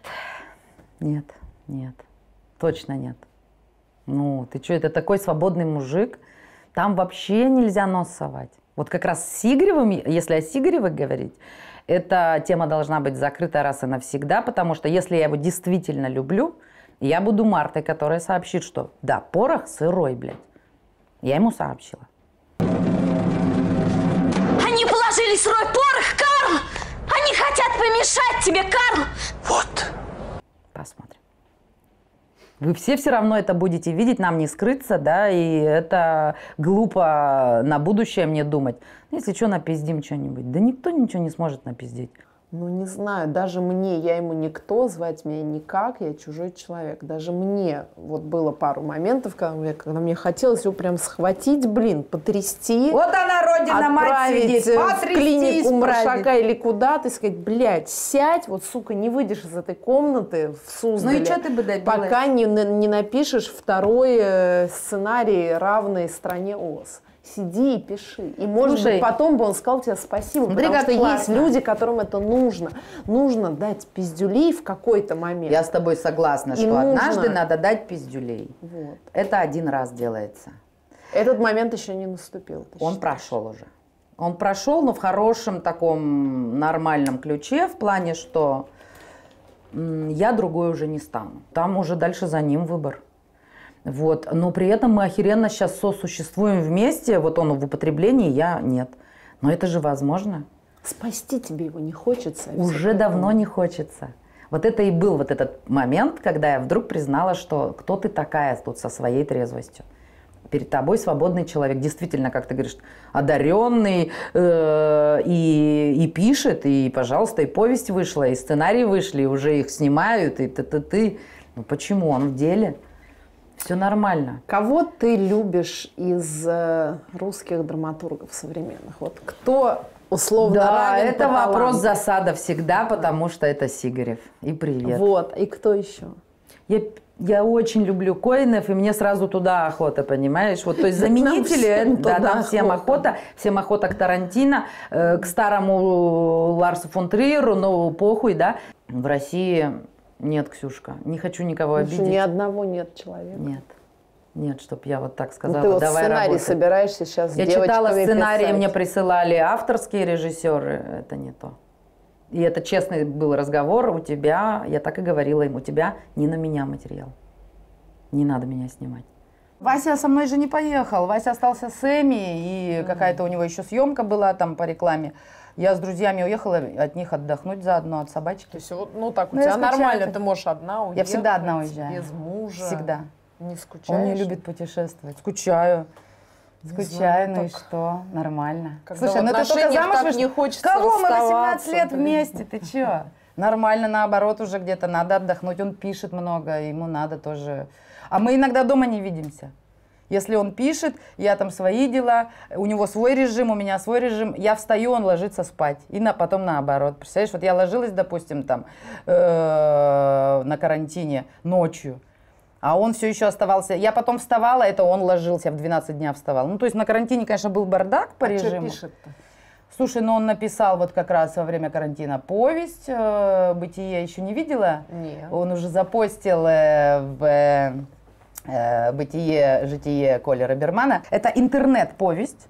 Там ссылки всякие. Ты пока читаешь, ты переходишь на ссылки. Это очень удобно. Ну, то есть понимать автора глубже, да, потому что мы сегодня же уже не про книжки, да, мы сегодня вот про гаджеты в руках. Это очень круто. Он, он вообще сам по себе чувак современный, Сигарев, и он всегда ищет, что сегодня, да, актуально. И он сделал вот такую интернет-книгу, э, которую ты по ссылочкам идешь, читаешь, и в итоге приходишь в конце. Ну, каждый к своему придет, понятно, но вообще... Когда полнометражный фильм-то будет? Ты, должна знаешь, его тыкать в бок и говорить. Я ничего не «Сигарев, должна, мне». видишь, что. И он сказал, что он устал от режиссуры, на самом деле, это нормально. Смотри, вот он когда снял «Страну Оз», э, у нас потом был большой перерыв, потому что я ушла пахать в Ольгу. А, Вася пять лет, в принципе, отдыхал. Ему надо было, видимо, вот прийти к пониманию, писатель все-таки или режиссер. Вот у, у меня сегодня мнение, что я не лезу к нему с такими вещами, у меня мнение, что это писатель. И на карантине он пишет повесть. Ну, понимаешь, да? И плюс там пару сериалов, которые сейчас уже один снимают люди, другие он не захотел сам снимать. Еще один сериал, который мы хотим с девчонками сделать, там, с актрисами. Вот. э, ну, вот это писатель. Это очень круто, вот так смело сказать, а мне не интересна режиссура. И потом я знаю точно, что у него это пройдет, и потом появится какое-то желание Ну, не что-то страшно снять. тебе? Все-таки вот ты же всегда как-то о нем говорила, что я вот как вот это мой Панфилов. Ну да, да, Ну, да. все-таки у Панфилова очень много было Да, работ. ну смотри, на полочку клали, но да. были крутейшие вещи. Ты знаешь, я этот период даже не заметила. Вот раньше говорила, да, что вот, это мой режиссер, а сегодня мы настолько каждый, ну, в себе там что-то находит новое. Меня тоже очень не очень, точнее, не очень интересует профессия актрисы сегодня. Не очень. Ты понимаешь, свобода в том, чтобы не в амбициях как раз задыхаться, а в том, чтобы искать в себе новое. И вот я как раз развернулась на свои там новые какие-то стороны. А на какие? Э, Ну, прежде всего, это, конечно, я закончила свой сценарий «Маму дуру» и поняла, что его переросла. Тоже круто, победа. То есть, и все, не хочу снимать его. Представляешь, еще умирает актриса, Подожди, к сожалению. ты сама написала свой первый сценарий. Да, давно его И начинала. сама сказала, что нет. Да, да, вот так Херово. получилось. Э, нет, переросла. Спросила у Васи. Я говорю, Вась, а вот такое возможно, что вот я написала и чувствую, что переросла? Он говорит, это классно. Это классно, как раз таки. Дело в том, что я слишком много это писала. Я могла пересидеть, или я могла перегореть, или реально выросла. Неважно, неважно, откуда пришло понимание, что не стоит. Вот еще какие-то штуки в жизни, ну, практики, конечно, всякие, знаешь. Это все. Ну, подожди, но если мы про профессию говорим, актерскую ты говоришь, ты чувствуешь, что переросла. Я, Нет, Сценарий- актерскую я не переросла. Актерс, в актерской я не раб. А В актерской нету амбиций. А в чем ты видишь вот дальше? Куда ты видишь? Не знаю, движение? не знаю. Это всегда очень интересно, не знаю. Главное, что я ничего не боюсь. Ну, слушай, у меня еще Ольга не закончилась. У меня последний герой Ну, еще не закончился. будет, я да, мы же, понимаю. конечно. Еще один сезон в Мы сейчас выпускаем сезон, да, уже начинаем слабую вялую подготовку к последнему герою. Это такие мои, знаешь, проекты, которые я люблю.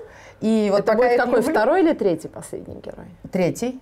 Готовиться будем к третьему. А Ольги выходит сейчас четвертый сезон, что тоже удивительно. Я думала, два я- это вышка, что я смогу им дать. А в итоге, знаешь, начинаешь людей любить, потом ты понимаешь, как лю- зрители любят. Ну, все это не отпускает, конечно. Это тебе. Жопа в небесах. Ну и потом есть, если о чем говорить, то почему бы не поговорить? Я тебе открою тайну по поводу последнего героя. Я не знаю, Что кто ты там это была вас. ведущей? Блядь. Нет, нет. Я получила самое странное маркетинговое предложение в Участницы? жизни. Да нет, когда ты начала вести. Я Ну. не буду говорить, кто, чтобы Ну. никого не сдавать. Значит, какие-то люди, связанные с твоей командой, звонят мне и говорят, значит, слушай, мы хотим прорекламировать «Последний герой», вот Троянова, новая ведущая. Я говорю, слушайте, классно, мне Мгм. очень Яна нравится. Я с удовольствием. Говорит, не, ну нам вот просто не надо. Давай ты сделаешь какой-то пост, и обосрешь ее там, что вот какая она, значит, вот что какая ты Идиоты. была офигенная Ага. ведущая, и какая она. Я говорю, ребят, ну это странно, во-первых, она мне нравится, во-вторых, почему, ну как бы, зачем мне создавать Ну, конфликт на странно, пустом да, месте, у меня да. и так этих конфликтов вот, Да. и не на пустом Да. месте. Но вот было, был такой маркетинговый шаг позиционирования. Да хуй бы с ними. Смотри, это же, ну, это все люди. Э, Я просто тебе рассказываю, я уверена, вас- что не знаешь. Нет, конечно, это смешно. Дам немножечко Дудя сейчас. Сколько ты зарабатываешь? Ну, хотя бы пример. А, я тебя сейчас примерно сориентирую. У меня же, видишь, раз в год проекты. Ну, Сколько-то месяцев я не на работаю. Ольге сколько стоит? А по Ольге я могу распространять, думаешь? Это Порядок. Мне никогда не спрашивали? 500 тысяч, 250 тысяч. Давай, Порядок. 250 тысяч. да. День. День. А у тебя там должно быть на один се- сериал, я думаю, дней 100, да, съемок? Ну, меньше, меньше, но потом я отдыхаю год. Один сезон, ну сколько, 50-60 съемочных дней. 60 точно, 60 точно. Ну, то есть, это, слушай, это нормально. Как бы. Я хорошо зарабатываю. А последний герой больше, меньше? Меньше. Меньше, чем Ольга? Да, да. Почему? Но он не такой уже Там зато сидеть проект все был. время. Я ты можешь- подумаю над этим вопросом, наверное, подниму. Вот сейчас подумала. Простите. Простите, ТВ-3, я никого Да, не хотела. Да, наверное, подниму все-таки. Не, ну нелогично. Так ты отснялся, пошел домой спать, а тут ты живешь в жопе мира. Да, плоханулась. Я здесь все-таки подозреваю такую жалость к себе. Ты проповедник, что ли? Нет, А что ты... подумай все-таки, ну стоит Чё ты ли оно того, ставишь? чтобы вы сейчас враждовали? Да, молодец, Ксюха. Меня просто никогда не спрашивали, Дудя мне никто не давал в этом смысле, сколько я зарабатываю. А вот ты мне взяла да подсказала. Ты зарабатываешь больше мужа или меньше? В- вот сейчас, да, но э, вот до этого, да, а сейчас он опять стал писать, пошла торговля, и уже непонятно, кто Ну, из то есть сценарий можно дорого продать. Да. Ну, Блин, тоже какой порядок? 100 тысяч долларов, 50 Нет, тысяч нет, долларов. подожди. Ну, в это рублях речь о миллионах, да. Да. Э, Ну, 2 миллиона рублей, нет. миллион, три. Нет, порядок. нет, там серия миллион или полмиллиона, там как За ты сценарий. говоришься. Да, да, да, да. Есть Да, в Москве хорошие плавают деньги. в эти, эти цены, да, нормально, да. Я знаю, что почему-то, мне тут недавно кто-то накапал из актрис, что мужики, э, актеры, получают больше, чем актрисы. Собираюсь тоже это исправить. Ты знаешь, что это правда так? Я не знала, представляешь? Ну да. Да, Ну как, почему, нас с чем это связано? С полом. Ян, Все, супер. ты вот, кстати, Я товар штучный. Ты феминисткой себя считаешь? Ну, то, что я могу себя считать феминисткой, я за равные права, я там за здоровый вообще, за здоровую движуху без перекосов, ну да, да, нет, права должны быть равными, это нормально. Ну вот у нас нет актрис, которые получают столько, сколько Козловский, например. Так, Козловский все еще получает, он еще не выбыл из обоймы, разве нет? Козловский прям хорошо, все еще. Но он сидит, редко да? снимается, но он много получает. Да? Ну, Петров, Козловский, Петров, кто да? у нас там еще? Ефремов наверняка много получал. Никита. А, еще А, есть старший, Никита. да, Никита. Михаил, наверное, дорогой был, я думаю. Слушай, я, знаешь, сейчас задумалась, а я же штучный товар. Я мечтаю играть алкоголичек в кино. Кто мне даст эту платформу? Сигарев. Вот таких, которые, понима- которых сейчас сегодня нет в кино. Я очень хочу ее реализовать. И это реализует, э, если сейчас все получится, материал Сигарева. Понимаешь? Вот, и, и- и если мне дадут играть то, что я хочу, да, то, что я хорошо сделаю, я пойду все отдам. Вот, но нет этого материала. Кто я? Я, а, там, не знаю, Слушай, я вот ничто, вот, но во мне есть какие-то еще темы, которые охота вынести э, в кино. Ну, понятно, это ну, женский смотри. алкоголизм. Ну ты же это отчасти. Понятно, что частично. Ты же это и так играешь в Ольге.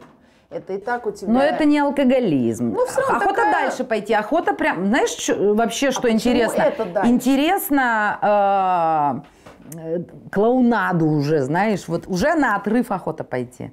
Клоунаду вот в хороших традициях, как любовь и голуби, родня, значит, вот охота психовать и вот так вот просто бомбить.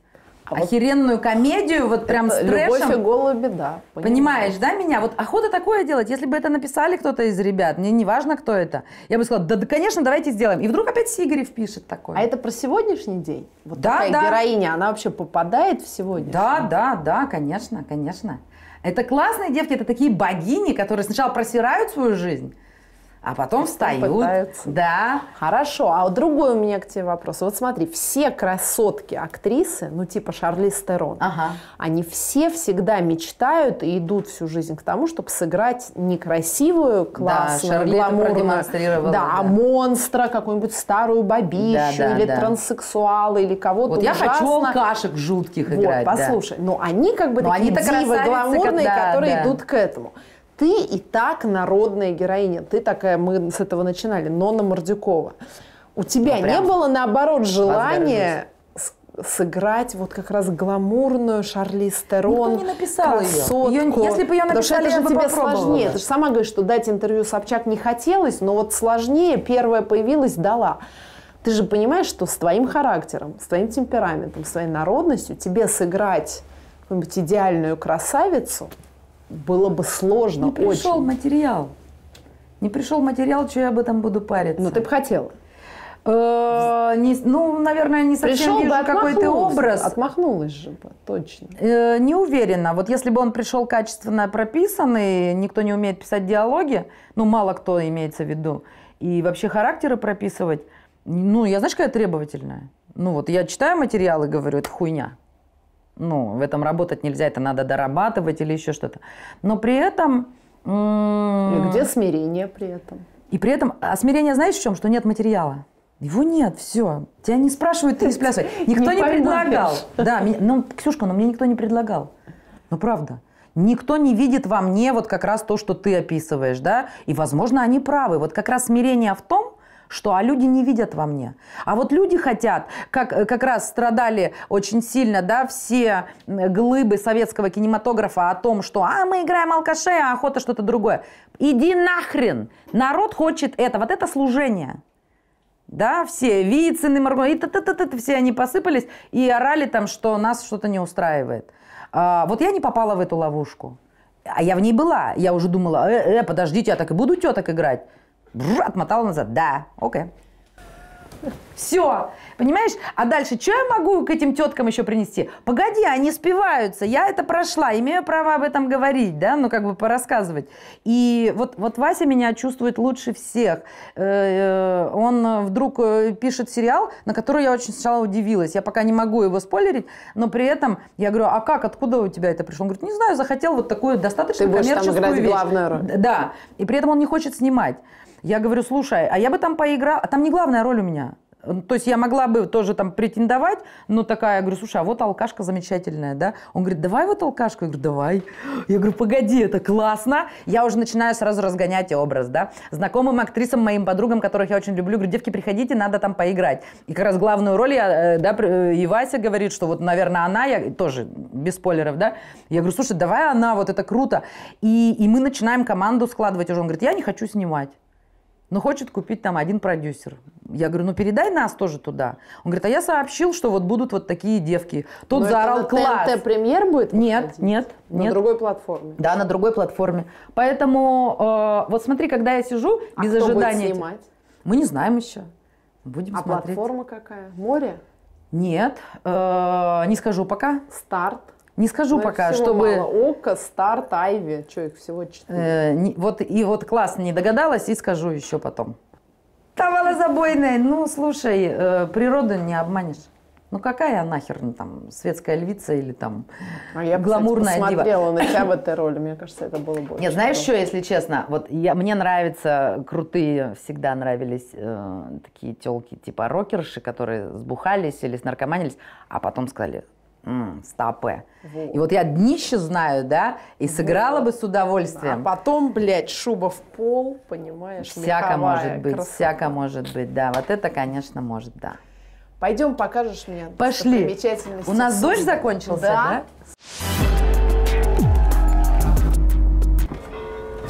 Крепкие какие у тебя. Я крепкий табак курю. А, подожди, Надо да, дверь закрываем. закрыть. Закрываем Ленку нафиг. Давай, справишься? Все, и колокола бьют. Смотри, мы Всё. выходим, и бьют колокола. Как по-русски. Так ты любишь? Да. Символизм. Ой-ой-ой. Всегда выходишь из дома и бьют колокола. Слушай, ну классно, да, ведь тут? Угу. Знаешь? Вот теперь мне интересно, закрыла ты Лену или нет? Нет, конечно. Она откроется, да? Ну, я же тоже, э, хоть и хуевая актриса, но обучаемая. Я пошуровала, Пошуровала, ключиком. сделала вид, да. Вот такая ты актриса, сделать вид. А мы, сука, там живем в кадре, Вот. понимаешь? А Я обозначила. А ты обозначила. Да. У меня э, мастер в театральном институте за это нас, меня, слава богу, не убил, и я ничего не обозначивала. А кого обозначивали? Ну, кто обозначил что-то в кадре? Ой, как он матом крыл. Нас так матом крыли вообще всегда. Мы такие закаленные. Ну, это вот, кстати, тоже чисто же русская школа. На Западе Да. бы сказали, что это унижение личности. Если личность Нельзя не же- понимает по-хорошему, видишь, как в стране вас башку прострелили и вперед. Что-то поняла А вот сразу. что ты, кстати, думаешь о, э, об этих методах русского воспитания актеров? Там же действительно на них орут, унижают. Это Смотри, уже- если орет мастер по-настоящему с большой буквы, тогда, наверное, это необходимо. Но это мастеру решать. Я тоже орущая, если честно. Вот Ну, когда мне слушай, доставляется По возможность... новой этике такого мастера сейчас бы заклеймили и уволили бы, понимаешь? Ну, я говорю о гениальных людях, да, которые преподают. И, ну, заклеймите, и у вас вообще ничего не будет. Да. Будет школа штампованная, да, которая и так есть сегодня, и просто, ну, непонятно, чему ребята учат. А чему там учат? Условно ключ завернуть, я типа дверь закрыла. Вот этому, да ну нахер. Каренины готовые выходят, Анны, У все нас в доме Аннушки. осталась ассистентка, если И я переживаю, что Собчак ее закрыла. Я не закрыла. За- Я Она профессионально Вот наша русская А школа. надо было закрыть. Надо было значит. закрыть, ты потом стоп-кадр. Нет, стоп-кадр, открываем, выпускаем ассистентку, говорим, Лен, ты свободна. Красивая церковь-то какая. Ты полюбуйся. Вообще. Вот вид из дома. Я люблю такой отдых, когда ты одна как дура шарошишься в какой-то юбке. Каких-то там... Ну это- ладно, тебе красиво, ты все Нет, тоже вот это классно. не кокетничаешь. Я и люблю, это Все же- подобрала, маечку, смотрите, тон полутон. А догадайся, смотри, вот приезжаешь же в поездку, у тебя, видишь, на самом деле что-то не хватает, да? Да. Вот погода испортилась. А я такая, пошла в магазин быстро, что-то увидела, купила. 5300 рублей. так. Прекрасно. А юбка называется? Сняли? Марья. Да, Цена есть? есть. Класс. Ты любишь, да, такие штучки? Мне Вот очень Цену нравится. показать, в смысле? Да, да, это да, вот да. ярлычок. Это я люблю. Я для тебя и оставила, я же знаю, что ты любишь. Так и любишь. Так и любишь всякую хуету. Осторожно. Ой, смотри. Ничего себе. Вот смотри. Господи, какого, слушайте, какого размера. Ты мне объясни, почему храм охраняет вот этот вот бедный пес огромный? Вот я тоже не понимаю, зачем вообще в храме такого размера собак? Хорошо, что ее в том храме, куда Зачем я ездила, вообще все, было. все храмы есть, но они не для людей? Вот еще хороший вопрос, понимаешь? Вот почему, э, да, нам вечно приходится вот этим вот людям, которые, ну, хотят сделать св- свою страну лучше, обращаются к Западу, к Европе. Почему? Потому что мы видим, что у них есть опыт хороший какой-то, да? Ну, допустим, там любой храм будет открыт круглосуточно. Туда может зайти бездомный человек и переночевать. Да, допустим. Блин, ну правильно, это для людей. А у нас ты сейчас ни в одну не попадешь здесь в церковь. Кстати, ты в курсе? Почему? Все закрыто. Ну ладно, ты шутишь. А это может из-за карантина? Подожди-ка. Ну, может быть, да. Ну, то есть зайти-то можно, как ты уже заходила? Ты что к ним вообще полезла? А, ну, ты готовилась, там э, детей сбивали, там огромное же дело, как бы, там на нас вышли воспитанники, мы вообще как бы в А. этой теме. А ты же не журналист, в принципе, почему они В смысле не журналист? Интервьюер. Ну как, они связались с нами, стали рассказывать об этом, и мы решили сделать кино. Мы же делаем док-фильмы. А, у нас целая линейка А, да? документального Я кино. не Я не видела. только делаю короче, интервью. почему все закрыто? Объясни мне. Мы, мы мало куда попали. Ну, музеи открыты, и монастырь даже был открыт, и тюрьма. Там есть еще тюрьма. Но она тоже так частично открыта была. А в основном нет, ты в храм не попадешь. Всегда встает вопрос, а зачем тогда у нас такое богатое, богатое убранство в церквях, да? Э, э, Для того, чтобы потом туда никто не попал. Они вынуждены их закрывать. Потому что там торговля, там товары, там иконы. Ну, вот видишь? Вот это тут как на Арбате практически. Вот так вот параллельно торгуют бабушки ягодами, да, там грибочки, то все. Что ты, красота. Слушай, да, там целый рынок. Там же рыночек. Ой, да, я хочу посмотреть. Пойдем. Пошли, вот там, где ягоды покупаем. Здрасте. Грузди моченые. Здравствуйте. А ягоды у вас А ягоды дальше, дальше, там, да? пошли посмотрим дальше. Ягоды дальше, да? Конечно, валенки я себе прикупила. Вот. А что-то земляники нету сегодня, да? Нет, она отходит уже. Уже отходит? Мы успели на... Ты не успела на землянику, на самом деле. Да, тут прямо, видишь, рыночек. Я компанию кружочков задарю. Ой, Видишь, спасибо, ну я как-то неудобно. Это нормально, вас, нормально. да? Ой, спасибо Мы вас так любим. Спасибо. Они вас так любят. Видишь, Будешь я думала, меня все ненавидят. Ну, Настя, кто-то ну меня, чё ты, ну, кто-то, перестань. кто-то любит. Класс же, сейчас Давай я тебе сейчас обосру малину. Давай. Они всегда так говорят. Шучу, не, она хорошая. ты сучка Я крашеная. сучка крашеная. Нормально. А ты на оружие, значит, реагировал. Ты воин, Ну что да, ли? да я, ну ты знаешь, я воин э, Света. холодного Холо- оружия. А, холодного оружия. То есть подлая? Нет, я языком воюю. Языком воюешь. Да. Нравится? Мне да. Ой, не сносите только. Ксюш, иди сфоткайся, Ну, пожалуйста, давайте, просят да, люди. давайте. Я хожу всегда, когда просят. Тут трясутся даже. У них Да всегда ладно. они трясутся, нормально все. Слушайте, а что все церкви закрыты? Из-за карантина? карантина, ну и Да? реставрация, потому что. Ну, какая- понятно. Реставрация пожизненная. А у них 9 мая все еще. Ну, кстати, Ночью да. оно светится красиво. Понимаешь? Вот она наша родина. 9 мая пожизненная. Я думаю, до просто. Нового года стоит легко. Пожизненно, Ксюша. Пожизненное президентство, пожизненное 9 мая. А ну Я смешная. разговаривала. Чинарик, лаванда, грузди моченые, нос. Да. Молодец. Хорошо. Я вот разговаривала с Викторией Исаковой, с актрисой. А, а с Бекхэм поговорила? Не, ну, Нет? Я не для интервью, я просто не Ну. разговаривала. Она говорит, вот если меня куда-то зовут, я точно знаю, что, скорее всего, со мной конкурировать, ну, в кастинге на хороший фильм будет Рапопорт Ага. и Хаматова. Нас почему-то в одну как бы... Да? Ну, Да, бывает по такое, типажу. я да. знаю, да, да, Вот, да, а да. ты с кем по типажу конкурируешь? Э, Будет это звучать нагло или нет, ни с кем. Спасибо. Спасибо. Вот ради этого ответа. Да, помнишь, меня спрашивала Да. сегодня? С кем, да, на роль меня пробует? Ну, кроме шуток, на Ольгу пробовали всю страну, если что, так что... Серьезно? Да, они перепробовали много актрис. Все там были? А Да, там да. Ну, там все вот были вот эти модные актрисы, появились КВНовские на ТНТ, все, кто такие женщины, огонь. Варнава какая-нибудь? Варнава нет, а вот я думаю, это как раз вот э, из разряда теток наших русских. Потом, э, я знаю, что Уколова, ну много, на самом деле очень много было актрис перепробовано. Вот. Но она моложе Я придумала меня. твоего конкурента. Кого? Давай. В одной нише с тобой. Ну давай, кто?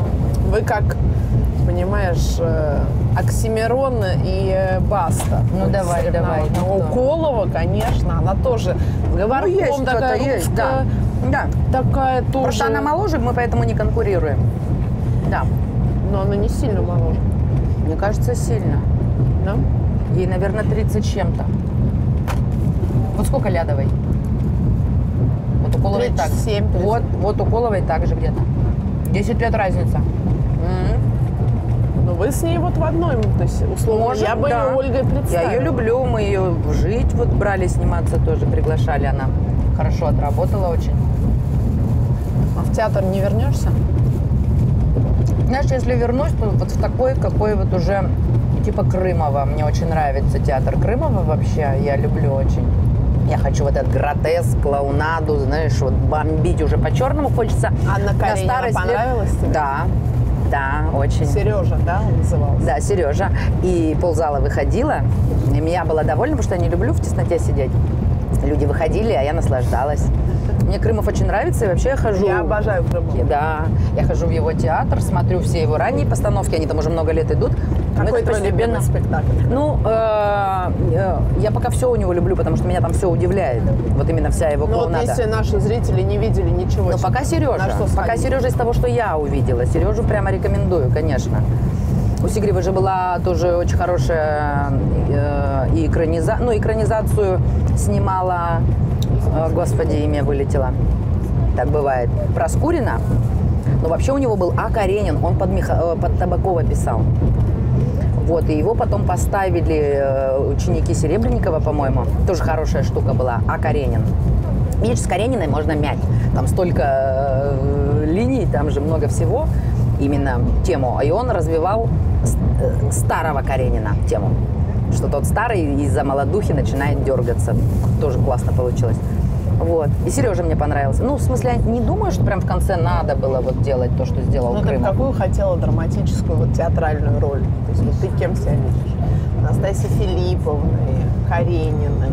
Ой, мне всегда мне вот это вот все всегда спрашивают. Ну, конечно, все равно главное женское это Каренина, потому что это вызов. Это всегда вызов. Ее можно раскладывать по-разному. Можно, пожалуйста, по шизофренической линии, можно по феминистской, как угодно. Я когда где-то в поездке, я обязательно что-то покупаю, потому что... А вот эти медведи, они вообще роскошные на самом деле. Это дизайнер, э, сейчас тебе скажу, кто это. Бартенев. А. Э, Это очень крутые медведи. Я его знаю, Бартенева, это Бартенева же классный, знаю, да. да. Он здесь, пожалуйста, представлен в медведях. И все это очень красиво. Что, всё я, красота. естественно, затарилась уже, понимаешь? Что купила? Что-то там какие-то тарелки, знаешь, там что-то вообще. Я- мне очень нравится все узбекское, вот такое я купила классно. Да, я тоже это люблю. Здрасте еще раз. Здрасте. Я на завтраке была. Проходи, Ксюша. Здрасте. Здрасте, здрасте. О, какой у нас вид. Сейчас это прямо, мне кажется, Сейчас парни наши ребята, да, сейчас скажут, наконец-таки не на фоне кухни и какой-то херни Собчак нас заставляет снимать. Так я. Да, я сегодня ржала, Спасибо. говорю, Собчак хочет снять меня, если на фоне куполов, я еще наколю на глазах, не буди, и будет все классно. Ну, стараюсь. Слушай, а ты с Германикой-то продолжаешь дружить? А мы не видимся нигде, она же там в Бога вся убилась. И... Я с ней делала, кстати. Я видела, я посмотрела. Я Тебе посмотрела. понравилось? Да, мне понравилось, она в порядке, на мой взгляд. На мой взгляд, что вот девка Мне просто вот нашла то, что ей нужно. да, с этим мужем своим, явно любит Она замуж, да, его. вышла? Да. Она же с животиком у тебя была? Да. Я вообще реагирую на людей э, с пузиком очень хорошо. У меня сейчас подруга тоже в положении, и я прямо около ее пузика. Тебе попадают из пузика. Я сразу добрая. Ну, понимаешь, что ты уже как бы сейчас на пограничной истории, что тебе надо либо яйцеклетки замораживать. Я приняла либо решение. Что не будет. Да, я приняла решение Прямо такое. Не пожалеешь Был, потом? был момент, как не знаю, был момент, когда вот все заморозить срочно, все это. С Васей поржали, он говорит, я говорю, нужно от тебя, он говорит, хоть, хоть два. Вот, но я приняла решение быть полезной большему количеству людей, чем одному ребенку. Вот это как раз молодежь сегодняшняя, которую, если я рожу, Ксюш, я все отмету. Это Ты я ж- вижу Это по ж тебе, понятно, да, да. ведь, что я, я все этому ребенку отдам. Да. Вот все, что не додала Кольке, все, что считаю сегодня, свои возможности, свои желания, свою любовь, я все отдам. Я откажусь от своих желаний напрочь. Ну разве это плохо? Мне кажется, нельзя это же хорошо, осчастливить весь мир. а это хорошо, если бы в меру, опять же. Я боюсь, что я выращу свинью какую-то в этом смысле. Ну, то есть это может Избалуешь? получиться, да. Вот я, я не готова вырастить свободного человека. Вот я как раз, э, э, вот эти мысли, когда были рожать или не рожать, сегодня-то их нету уже, Э, когда ты говоришь, я там вот Платон, вот все, да, и я понимаю тебя, м, ты хочешь за него много чего делать, лишь бы он был счастлив. То есть все твои поступки в отношении сына сделать за него что-то, они э, обусловлены благими намерениями, да, и вот я этих благих намерений-то и боюсь. Я боюсь, что я человеку закрою свободу что я за него проживу опять этот путь, а потом он вышмыгнет куда-то и скажет, знаешь что, дорогая, а я вот так решил. И я типа разрушусь. Ну, потому что я разрушалась, но я там и не вкладывалась в сына, в сына так, как сегодня бы это сделала, да, уже зрелая женщина. Ну, что там в 17 лет рожаешь, сама ребенок, Ну и, да. ты чего-то еще рожаешь. Ну а нет такого вот первобытного страха, что нету никакого родного по крови человека в мире Нет, этого больше? нет. У меня нету родства по крови. В этом смысле это никогда не было приоритетом. Есть люди, друзья, есть коллеги. Ну, слушай, меня такие люди окружают классные. Мне так везет. Вот правда, я, я, я просто благодарю постоянно небеса за то, что такие люди рядом. А по крови как раз, как правило, несовпадение какое-то было. Я не обязана их была терпеть, потому что, ну и что, что по крови. А не боишься, что пожалеешь о решении с ребенком? Там будет тебе 50, А это тоже отбоялась 60 уже, вот тоже отбо- вот 45 ну, ты же не прямо- знаешь, блин, как будет через 5, через 10 лет. Не знаю, но вот- есть детские дома. Все, Ксюш, продумано. Есть же детские Ну, не дома. твоя же кровь будет. Ну и что? Ну как, вот знаешь, вот Ну, те, кто я у меня были по крови, мы жили как кошка Вот с это собакой. все Я знаю, Ты да. знаешь, абсолютно все эти кричащие дети в самолетах, это был мой ад. Да все А дальше, когда ты видишь не просто ребенка, а ты себя видишь и А я добилась, Рая, видишь. благодаря всем вам, кто рожает. Вот я вижу беременную женщину, и я млею. Я не смогу ей вообще ничего дурного сделать, и, и я только буду ей служить, потому что вот сейчас беременная женщина рядом, нужно о ней заботиться. Кричащие дети в самолетах, которых я раньше не выносила также, сегодня меня только умиляют, потому что бедненький, наверное, ушки закладывает. Я меняюсь, у меня меняется взгляд на мир. Разве нужно для этого рожать? Если я уже Ну, Нет, изменилась. не хочешь Тебя изменил твой собственный любви? ребенок. Не хочешь Я его имею. себе? Я Но его это имею. дополнительный, и он никогда не исчезнет. Я имею главный источник. Меня Бог любит. Ничего нет главнее его. Нет. Это Бог. И поэтому ты просила Сало. сала. Я пошла в разнос, ребят. Раз уж у нас тут Суздаль, то тогда и сало. А вот как ты для себя разделяешь веру и религию? Вот это как ты? Да, вера это все-таки вера в то, что есть более что-то могущественное, да, чем я. А а религия это веришь? ритуалы. Да, я вот в это верю, что он меня любит, все идет правильно, все идет так, как надо. Вот это вера. А религия это, конечно, ну, вера прежде всего это смирение, да, но без смирения не работает, потому что если ты говоришь, руководишь и говоришь, подожди-ка, нет, это, это, это сейчас ошибка была, нет, ты должен вот так, нет, не должен. Вот. А религия такая, ну, она для меня детская, уже православие это уже детская форма, вот, ну, практик, которая для меня сегодня, ну, ну прям детская. Ар- Ад, рай, вот А это вот каких всё. практик, что ты имеешь? А, а все практика. Это путь, это практика. Ты и есть практика, ты и есть религия, да, то, что ты создаешь там внутри себя. Я однажды увидела девку в церкви. Она упала на колени перед распятием и просто сказала «прости». Эта девка была я, которая ему сказала «прости». Вот после сына смерти, когда я уже спивалась, я ему сказала «прости». Через несколько там мгновений уже я уже трезвая. Он меня простил. Я понимала, за что все в жизни дано. Это я сделала. Ты понимала, что это наказание? Как? Нет, это я себя наказала. И теперь мне нужно было из этого выйти. И вот этот первый и последний акт в церкви, когда я просто встала на колени и сказала ему прости. Я ни о чем его не просила. И он меня сделал трезвый, понимаешь? Вот это вот, э, вот это по-настоящему. И я сейчас на это смотрю, как на девку в церкви, которой я поверила. Она ничего не попросила. Она ему сказала прости. А он великий. Он сразу, ты чё вообще? Я же разве тебя наказывал? Ты же сама все разрушила. И, и все стало, пошло по-другому. Я перестала бухать. И все получилось. А вот все-таки из религии какая тебе ближе? Есть такое? Ну, что кто-то убедительнее? Все интересные очень. Везде я набралась инструментов. Ну, буддизм не религия, понятно, да? Ну, почему? Ну, буддизм тоже... Мне это- вообще буддизм нравится, но э, мне нравится то, что во мне формируется. Вот Ну, то есть в каком-то создал. смысле ты создала свою религию. Совершенно всех верно, да, да, да, да. Это был поиск сперва. Вот я практиками называю все. Конфессии, э, медитации, что Ну, а ты делаешь какие-то ритуалы, не знаю, холотропное дыхание, Нет, нет. какие-то... А, на айваско я была. Э, Я медитирую. На аюваске ты была? Да. В Перу? Да. Блин, расскажи об этом. Ты Ты знаешь, один раз это делала? Но я там пожила прямо. Это, Сколько? Это не один раз. Я пожила там около месяца. И... С мужем или одна? Нет, я одна, я же всегда одна езжу, я Вообще одна? говорила. Да.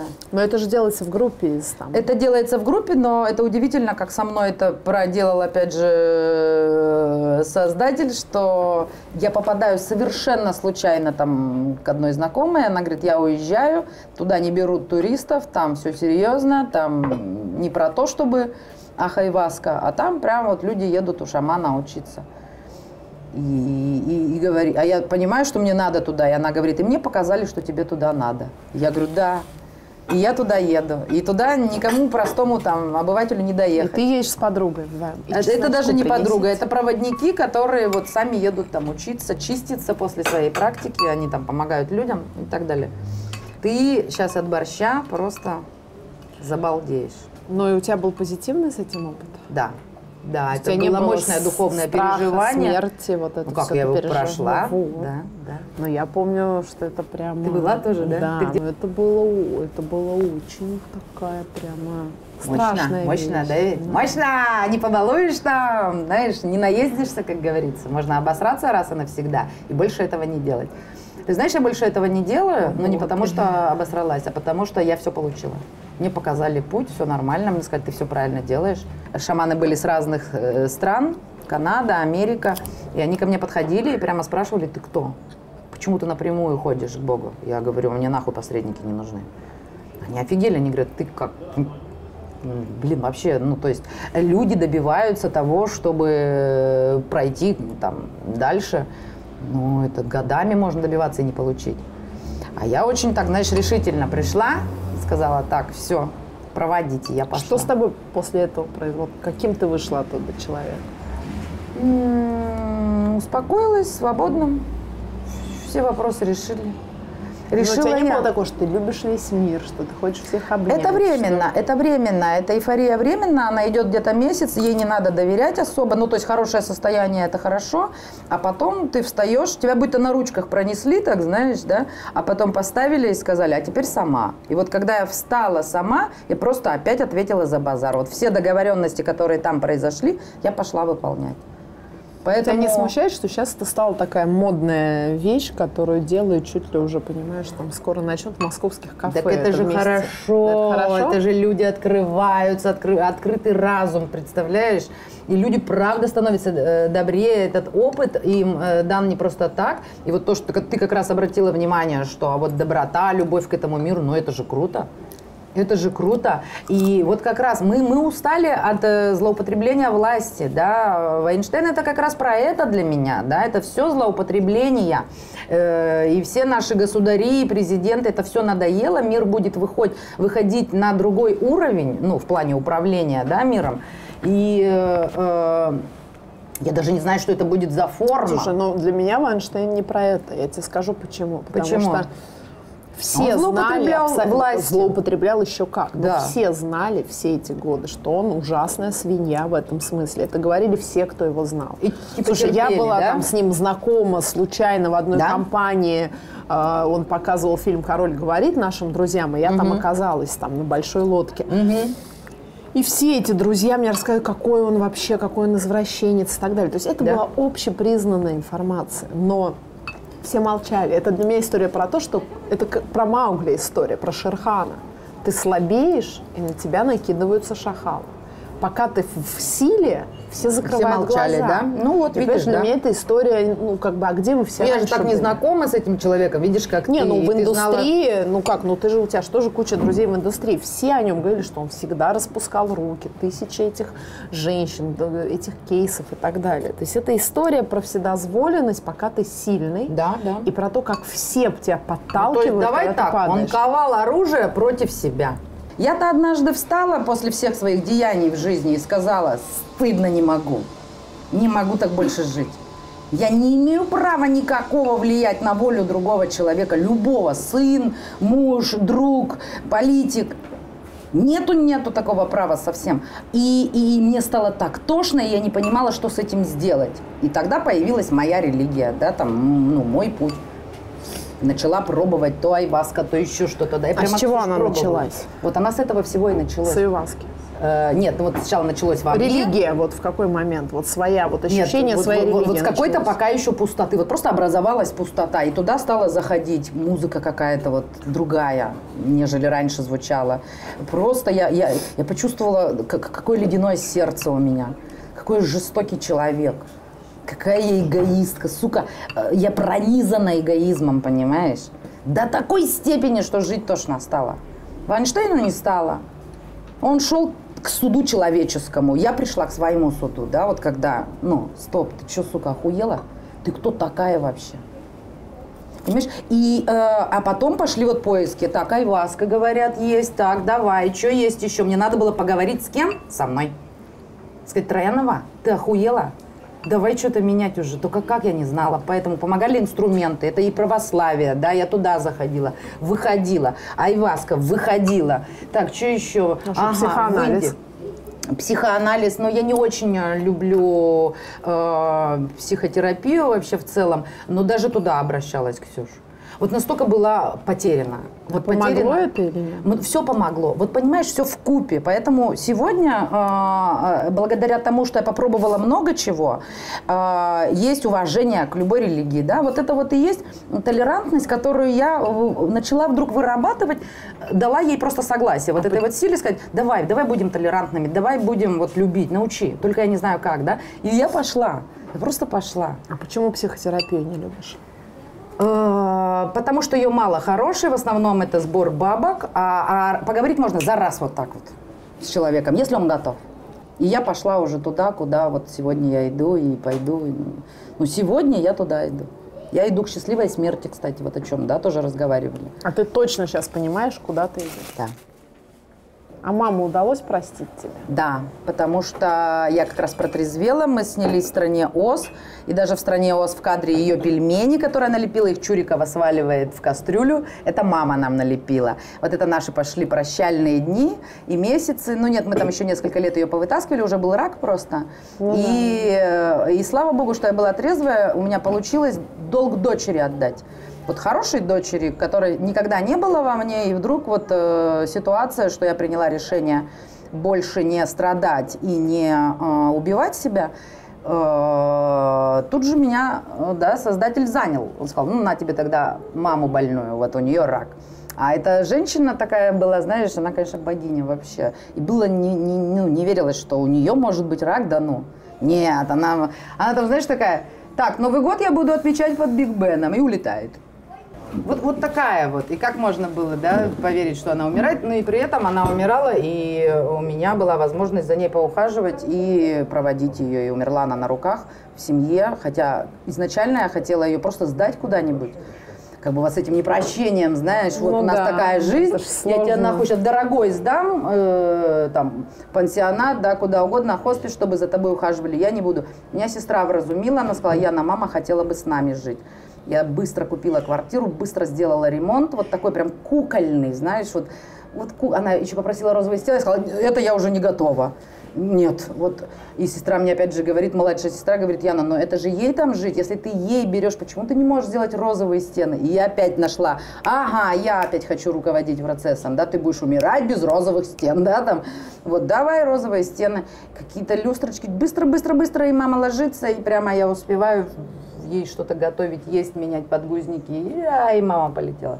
Вот это было прямо мне подарок, что Сколько был очень этот важно. период такого? Года два? Три года мы ее спасали. Сначала она все равно ходячая, а потом уже вот э, последние месяцы это уже в Лешку, конечно. Но очень добрая Лешка, она нас не, вот говорят, когда люди уходят, да, они злятся, там, агония и так далее, матерят. Мама всю жизнь нас гоняла, была в агонии, и вдруг маленькая мама лежит, малюсенькая, ребеночек, и у меня сердце бля, таяло. Я говорю, прости меня за все. Прости, что не могла быть хорошей дочерью всегда. Она мне сказала, ты хорошая дочь, и башка раз назад. Это пошли первые вот уже провалы, комы, из которых выходила иногда и говорила, а что у нас покушать? Ну, она даже умирала классно. Вот понимаешь, вот настолько человек был свободный и э, никогда не была замужем, вот все как-то не сложилось. Она к 18 годам уже прочитала э, всю мировую классику «Вундеркинд». То есть у нее даже зрение портилось от того, что она очень много читает. Вот настолько была интересная девка, а ничего не сложилось. Ну вот в плане не, не те ставки. Ставки на мужиков, знаешь, а не ставки на, на то, что ей даны возможности. Вот это был мощный проеб, который я простить не могла. И мы вечно вот бодались. А ты считаешь, можно умирать классно? Это возможно вообще? Да, я двигаюсь к счастливой смерти. Вот если я сегодня продолжу свое движение, я двигаюсь к счастливой смерти. Умирать все равно придется. Это иллюзия там о вечной жизни. И э, ну вот этот страх, а как это меня не будет, э, вот умирать надо классно, по-доброму. Но в плане, если ты двигаешься так, что исправил все косяки, ты будешь уходить спокойно. Вот я маме позволила уйти спокойно, простить ее, попросить прощения. Была рядом сестра, это все и дети сестры. У нас больше не было семьи, все тоже вымерли. И вот мы были вместе, да, да. Но главное еще человеку не говорить, что он умирает, конечно. Вот это тоже нюанс, который я не проебала, потому что я ей говорила, она говорила, ты меня в Ялту отправишь? Я говорю, да, я тебе возьму СВ, ты поедешь, это ты. Врала уже, но чтобы вот уже не дергать ее. Это все Бог покажет, куда идти, слушай. То есть сегодня я вот это вот рассказываю, завтра, я, может, он еще что-то покажет, пойду. И, вот, и, возможно, я тогда детского дома дойду, я не знаю, да, то есть э, кому-то открыть двери этого мира, сказать, да ты че, чувак, никто тебя не бросал, нахуй, тебя просто передали в этот домик, чтобы я за тобой зашла. Пошли посмотрим, что там растет вообще в этом мире. Поэтому посмотрим, куда пойдем, куда поведут. Я-то уже не выбираю. Здесь колокола с утра до вечера, понимаешь? Вот у нас финал разговора.